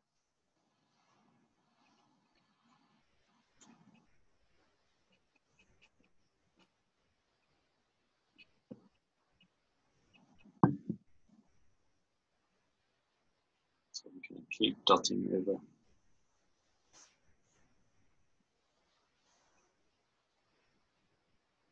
Some Yellow as well, and just squeeze some more out. because I'm running out of pure yellow. I wonder why. I don't want the colors to become too mixed because then it already becomes a bit like the third one that we're going to do. Just wanted to make a version of it that's just pretty much totally distinct. You can do this with any colors that you like. So you can pick any combination of colors and see what it looks like if you mix them. So you could pick a blue and a red and make something purple.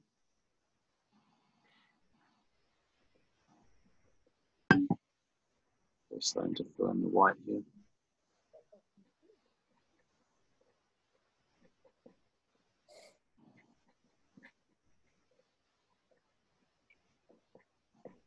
If you wanted to keep, keep them completely discrete, you'd have to do them in separate days because otherwise you would get some blending as you work your way across. Go back to this blue. Did it.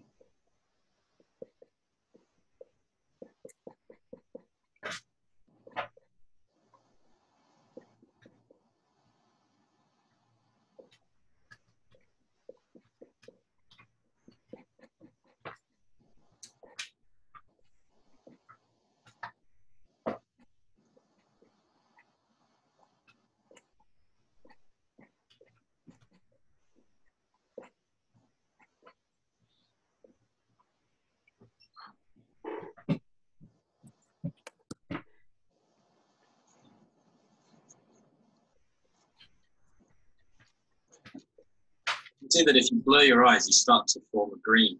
And it's obviously pretty uh, exaggerated, the pointillism in this one. Um, but if I switch to manual focus, can have a look. I move the focus, you'll see that it starts to, this is essentially what happens when you, um, when you move back from an image. Um, if I can really blur it, you see that they just kind of merge because the yellow and the blue start to bleed in together. And that's what would happen if you you took a step back from the painting. Your brain wouldn't be able to quite distinguish between the yellow and the blue. There, I mean, even here it's pretty obvious, but we're going to make another one just now, which will be a lot more. Um,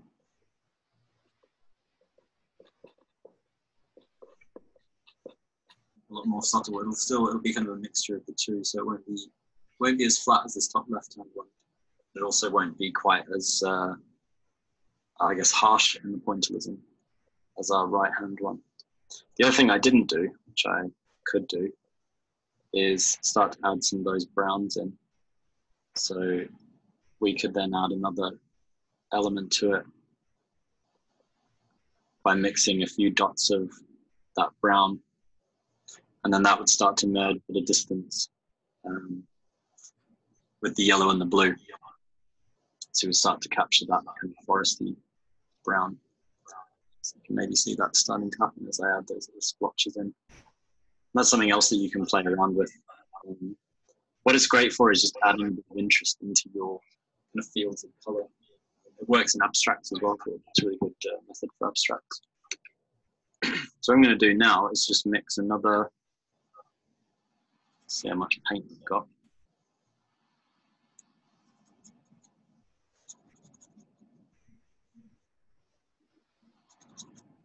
Not quite enough.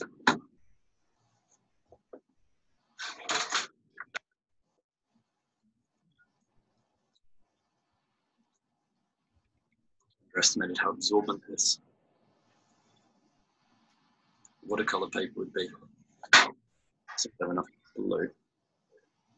So like a bunch more of this yellow, cadmium yellow. It's a bit of blue in. Try to keep it reasonably wet. The water is absorbing color at a pretty rapid rate. And then add a little bit of burnt umber into the base. So what I'm doing now is I'm making a wet base. My painting.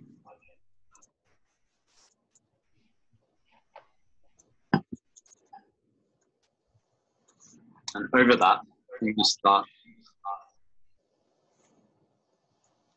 breaking. So within that, to paint. And if you're painting into a wet surface, it'll sort of tone down the pure color. To paint some bits of yellow into it. Just like we did over white, you're just starting with something a bit um, similar to what your ultimate look will be. Equally, you could do this over a, a dry surface, but it's kind of nice the way you get little bits of smudges. It can help to vary your brush direction if you're doing something a bit less regular looking than that. So pointillism tended to use the same brush strokes, but if you're working in a more classical mode and you just want to kind of subtly create a bit of vibration within your painting, um, I recommend um, kind of doing brush strokes in different directions. So you can add a few bits of brown as well. So that brown, one thing I want to look for as well, brown is maybe a little bit too dark for the base color. So that's why I can add a little bit of white into it. And there you can see the values closer to the original uh, color. So all that we're starting to shift is the hue and chroma, but not the value, which means our brain reads it as the same value. But then can't quite pick exactly what color it is because obviously the color shifts the whole way across.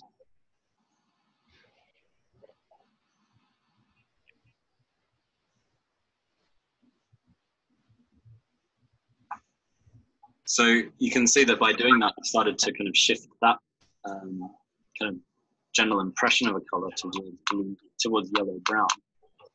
But I mix up a bit more blue, the right value.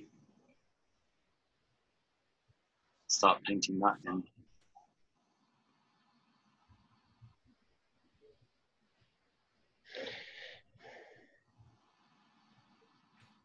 Okay, so I want to. Everybody, look at the three rectangles that he's painted so far. Which ones have more interest? Have more what? interest? Which ones, you know, kind of catch your eye more? Have to be the The one on busy one, Yeah. The what? The busy. the one on the right that's so busy. Yeah. Yeah, because there's more contrast between the various colors, right? Yes. One on the bottom has the different values and the one on top is flat. Yeah. Well, this this is kind of boring, right? Because it's just one flat continuous color.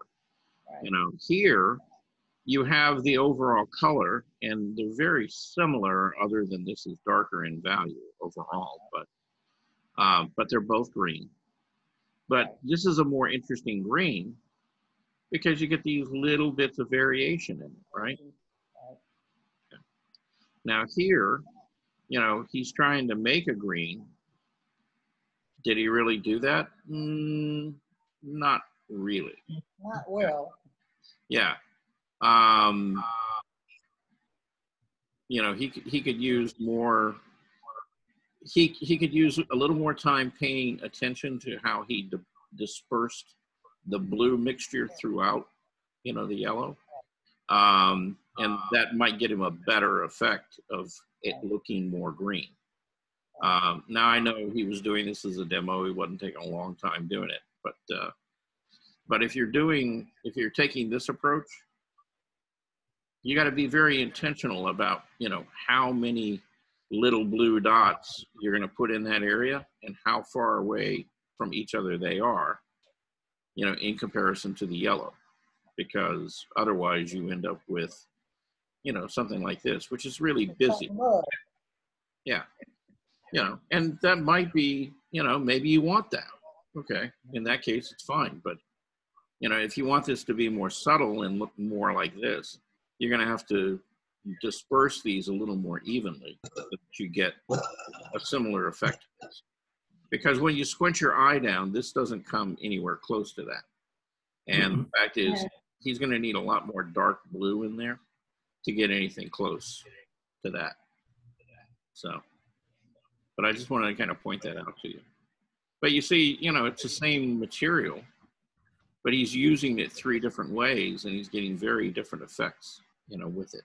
And, you know, the one I kind of advocate and use the most is the one that he's working on right now, where you've got wet paint down on the surface and then you're going back in and you're modifying it by adding other color into it. That's what I was gonna ask you. For instance, the one on the right, if he had done a base coat and put in, instead of the same values, put in a brighter value here and there to, to make it, would that make a difference? Yeah. Yeah. I mean, you know, I I tend to be what you call I either paint in one of two styles. I paint in a traditional style. So I do an underpainting and I build up glazes and then work, you know, areas of translucent to opaque color over it. Uh, and or I'll do alla prima. Okay. And if I'm painting alla prima, this is the way I paint. So I'll put down a block of color, and while it's still wet, you know, I go back in and I add more color to it till I get it, you know, to look the way I want it to. Okay. Okay. So, you know, generally, I would say probably 75 to 80% of the time when I'm painting, I'm doing this. You know, I'm not doing this. I'm doing this. And I'm, you know, I'm not definitely not doing that. Okay. Um, though I could take something like this as long as it stayed wet and work over it, and it'd be fine. But this is a wet into wet technique, right? This is wet onto a dry surface. This is wet onto a dry surface. All right, and it does make a difference. So that's why I say, you know, in oil painting and also in acrylic, you know, you got to put down some paint first, you know, before you can do anything. You know, if you're working into a dry surface, it's really hard to get the effect that you want, you know, because then you're dealing with trying to cover the surface and how much of it and lay the paint in there in an interesting way as well. And that's why I always sort of advocate, you know, doing a wet into wet process where you're putting down a bed of color and then you're working into that bed of color with other colors and values and you know you're modifying it as you go along so anybody got any questions about that No, but I did want to ask you about how to keep the acrylics a little wetter. They've got a half a dozen different kinds of products. And I, and have you tried any of them to know which is the better one to keep the acrylics a little wetter to work in? yeah um Could you suggest one? yeah well both golden and liquitex make what they call a retarding medium it's called a retarder and um, when you lay when you lay your acrylics out um, put you know just a little drop of that retarder into each of the piles of paint and mix it in. And that will extend the drying time on the paint by several hours. Okay. Hmm. All right. and the thing is you know you want to be you want to be careful and not put like a ton of retarder in it um, you know it's just a, a little bit goes a long way. Um, but it will but it will help keep the paint wet for a good long time. You take each color and put a drop in it and then take like a palette knife and mix it, Mhm. mix it up so it's it all throughout, correct? Yeah, yeah. And then after and then after that, what I do is I usually when I'm working in acrylics, I have a wet paper towel that's like five or six layers thick that I folded up uh, across one end of the palette, and it's it's not soaking wet. It's just damp. And you know, I'll scrape up my color, and I'll put the color directly onto that wet paper towel and Oh. and that will again keep moisture in the paint and stop it from drying out literally you know i've, I've kept acrylic paint out for three days Okay. without it drying out that way Okay. so Thinking about trying to buy some and, and try it. mm-hmm. yeah I, yeah i mean you know i i actually like acrylic paint you know there's some artists who don't um but you know with acrylic paint you know it's a catch 22 because you know the great thing about acrylic paint is it dries fast the bad thing about acrylic paint is it dries fast Too fast, yeah. Fast or too fast. yeah it's just yeah Is it's it a liquid or is it a, a, a, uh, is the retarder a liquid or a gel or what? it's Is it like gesso or something in that No, order? no, Tasty? it's, it's not that thick, but it's it's not like a real thin liquid either. It's it's a little bit it's a little bit viscous, you know. So it's got it's almost like the consistency of an oil. Oh, okay. Yeah. Okay. But again, you know, just a you know, if you put a little of it in a cup and then take an eyedropper or something, just put a Yeah. drop you know, Right. into you know uh, a little bit of paint. You know, let's say let's say that you squeezed out you know this amount of paint you know on your uh, palette. Right. Yeah, Right. just a little tiny drop into that would make that you know last for quite a while. You know, but you know my my thing with paint is, you know, I never mix up small amounts of anything because I I figure you know I would rather I would Have rather it ready to use. yeah, I would rather waste a little bit of paint than have to go back and remix the color. Because if I have to do Yeah. that, then I'll never get it like the previous batch.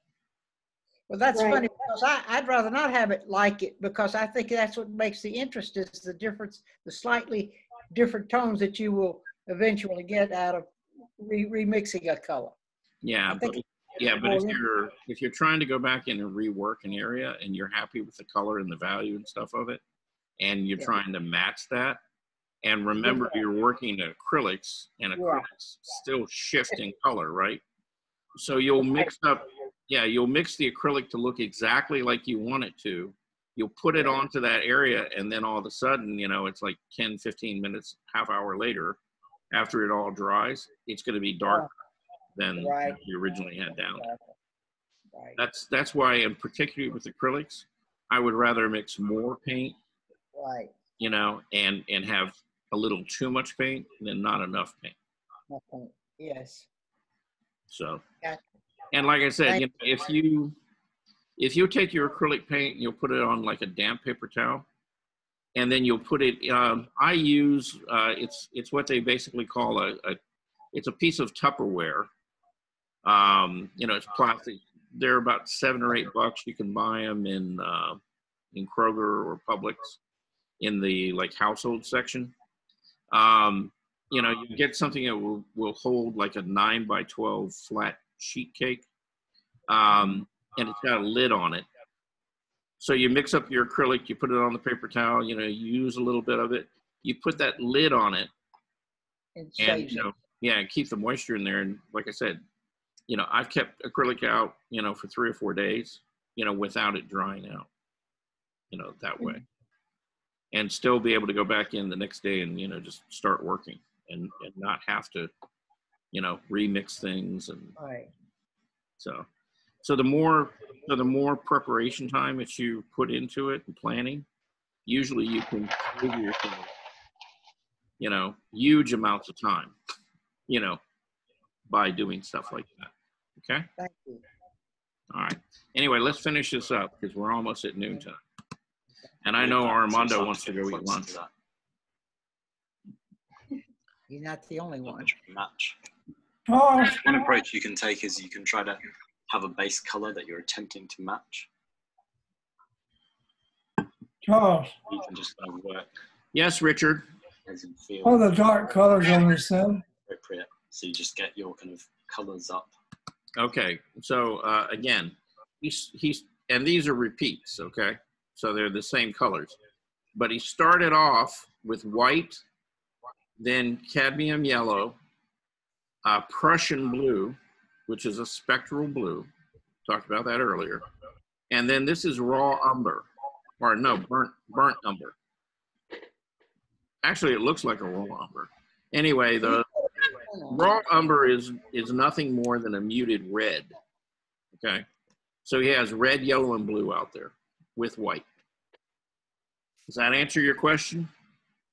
There's one more at the bottom. No, the, these are the same thing. Again, he started with white, yellow, blue, and then raw umber. He, he just repeated it. Okay? Yeah. Uh-huh. Yeah. So they're the same colors. The four up here and the four down there are the, the exact same. He just put. Thank you very much. Okay.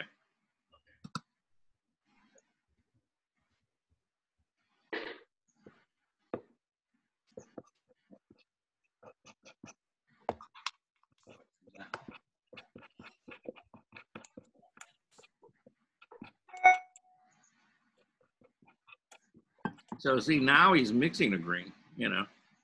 So it kind of negates the whole uh, concept there. You can play around with it, so you can add It's kind of like, yeah. kind of brighter little uh, variations. Yeah. You But he- will tend to find though that the more He's got the right concept. He's just not going about it very, very organized and very well. So all the colors, all the different hues are the same value. So it's the same lightness, darkness. And you can feel around for that. So if I blur my eyes, the yellow sort of stands out. So I could go through, tone down the yellow. I could maybe pick a different pigment as my yellow.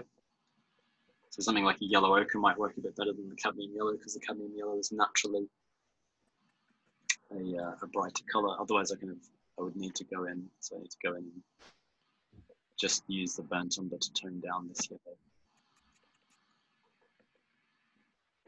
Which brings it closer to the blue. Probably still even a little bit, bit bright for the blue. So I could make the blue lighter otherwise. It's another option. So we go up here.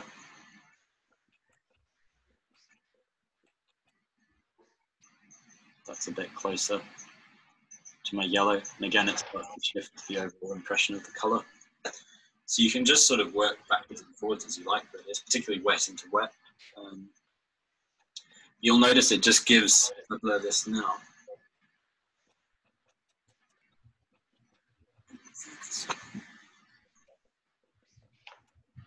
if I blur that, you see blurs to a pretty similar color to the original one that we were working on. Very sharp, and you see the individual things emerge. And that's what you're looking for. So kind of a normal viewing distance would maybe blur it into this sort of level. Um, and it's just just more interesting to look at, um, which really adds a lot of life to paintings. So particularly landscape paintings, um, you can you can use it in any form of painting. So I, I would do it in the shadows of still life objects.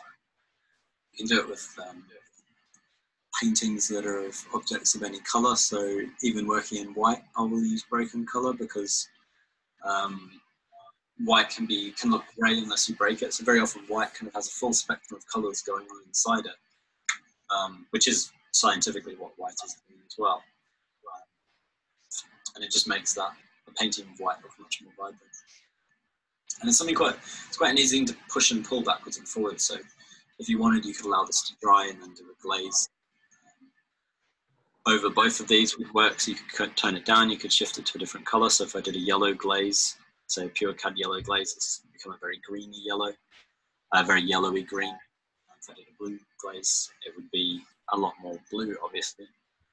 Um, so you can always overwork them, um, but it can create a nice vibrant background. So kind of any part of the painting can have this. You get an entire painting purely made of um, these sorts of brushstrokes, and a lot of impressionist work is like that. So there's an example of the haystacks, one of haystack, the haystacks paintings by Monet that I've in the accompanying document, um, and you can really clearly see uh, the colour, uh, how it's working, and it makes for a really beautiful painting. So I recommend trying it. As you can see, it's a quick exercise, quite fun. Um, you can use any pigments you want. So if you mixed a blue and a red, you get kind of purpley colour. You can mix yellow and orange, yellow and red to get an orange. You can use complementary, contrasting colours. Anything really. You can just experiment with it, and certainly try to experiment with the paintings. Um, as I say, it really works particularly well for um, landscape paintings because they're very atmospheric. It's, it's, a very atmospheric technique, um, which is the impressionist typically very often focused on landscape, and it's in the landscape you see a lot of these light effects going on. Um, they're more apparent. Um, but yeah, that's it. Hopefully that was interesting for you guys. Um, and I will see you soon. Okay. Did he just say he could put a glaze over the one in the right to make it uh, look more uh, closer to the ones on the left? Uh, he just mentioned glaze what- over it. Yeah, what he said is that after it goes dry, he can glaze over any of them. You know, to make it- Yeah. not- Mm-hmm. okay. That's Right. was- yeah. I mean, you know, as as I wouldn't say as a last resort, you know, as a late stage technique in in painting. You know, once you have your basic colors and stuff down, you need to just modify it a little bit. You know, glazes are really effective at that. That's where you want to use glazes, is really at the end of the painting, not necessarily at the beginning. Okay. Okay. Um, off to an appointment. Okay, that was Gwen. All right. Um, okay. So, anybody got any questions about anything we looked at? Any? Okay. So next time I see you guys submit a painting, you know, it's going to be full of broken and open paint passages, and you know, you're going to play with, you know, contrast and you know all that fun stuff with it, right? Where's my resounding yes? Come on. I'm, I'm using colored pencils. Yes. Well, in in fact, you know, because you're using colored pencil and the way you have to build it up, you're using this technique. Right. Yes, yes, I understand that. Thank you. Yeah, because that's what you're doing. You're optically mixing color, right? right there on your Right. paper. But it's not easy to mix color with uh, color pencils. Why isn't it? Fun. It's not like when you use acrylic or oil. no, It's not easy. I don't know. Maybe because- maybe I had cheap pencils. I don't know. Same thing, you know. You, the, the difference is you, know, you can't take a, a brush and pick up a little of this and pick up a little of that and mix them into a Yeah. big pile. But what you're doing on the paper is you're putting one color down, then you're working back over it with another. And Yes. every time you put a passage or a layer of color, you know, you're you're building more interest in the color. See, so it's not just just not all green. You know, Mhm. and you know, even if you wanted to make it all, you know, how much, you know, how how many layers you put down, and how hard you bear down on the pencil, you can make it a darker green to a, a lighter green. See, so even Oh, with yeah. that, even with that one color, you can create variation in, in the, You're gonna use one color on top of another one. Oh yeah, you have to do it real hard. No, um, you don't have to do it real hard. You know, in fact, you're better off not doing it real hard. You just have to be very patient and keep going over it. Let it build up slowly. If you let it build uh-huh. up slowly, then you'll get some really nice transitions. If you start pressing real hard, then what you do is you take all the tooth in your paper and you flatten it out and you make it slick so you can't put any more on. Oh, I see.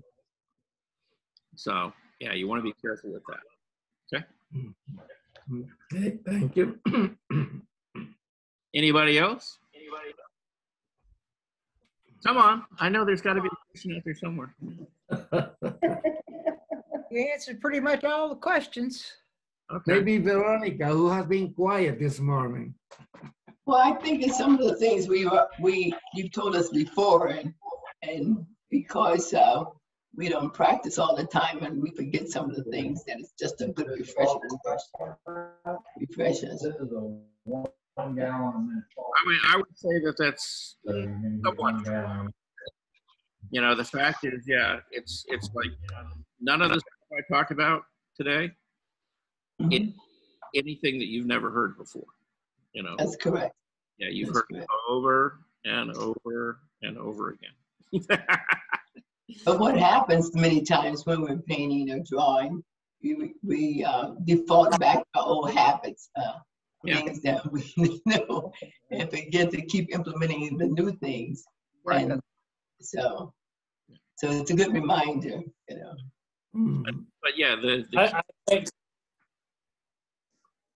I was gonna say, I think too, that when we're actually painting or drawing, uh, as you say, we go back to our old habits, but then when you look at it, you think about the different uh, things we've covered and say that, oh, I'm missing this, or that's why it's not.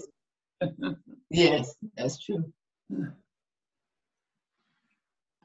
well, You know why it's not working.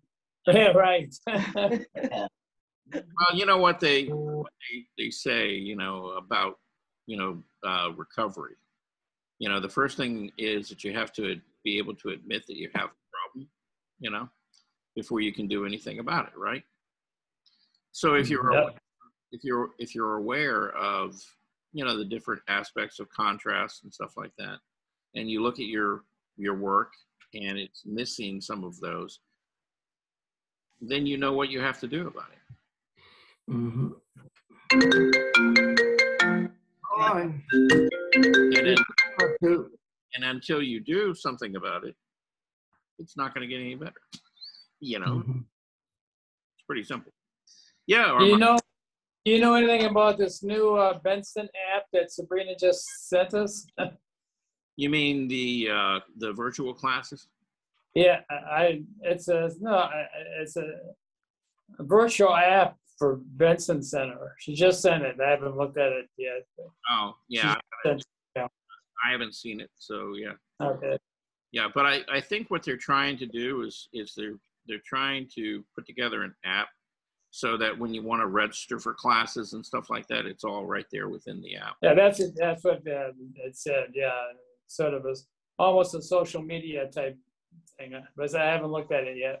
Yeah, well, I think it's I think it's that, but it's also uh, because they're not doing like on-site dining and stuff like that. I think you can also order meals. You can do a variety. I'm gonna check it out. Yeah, I think it's worthwhile. You know, taking a look at.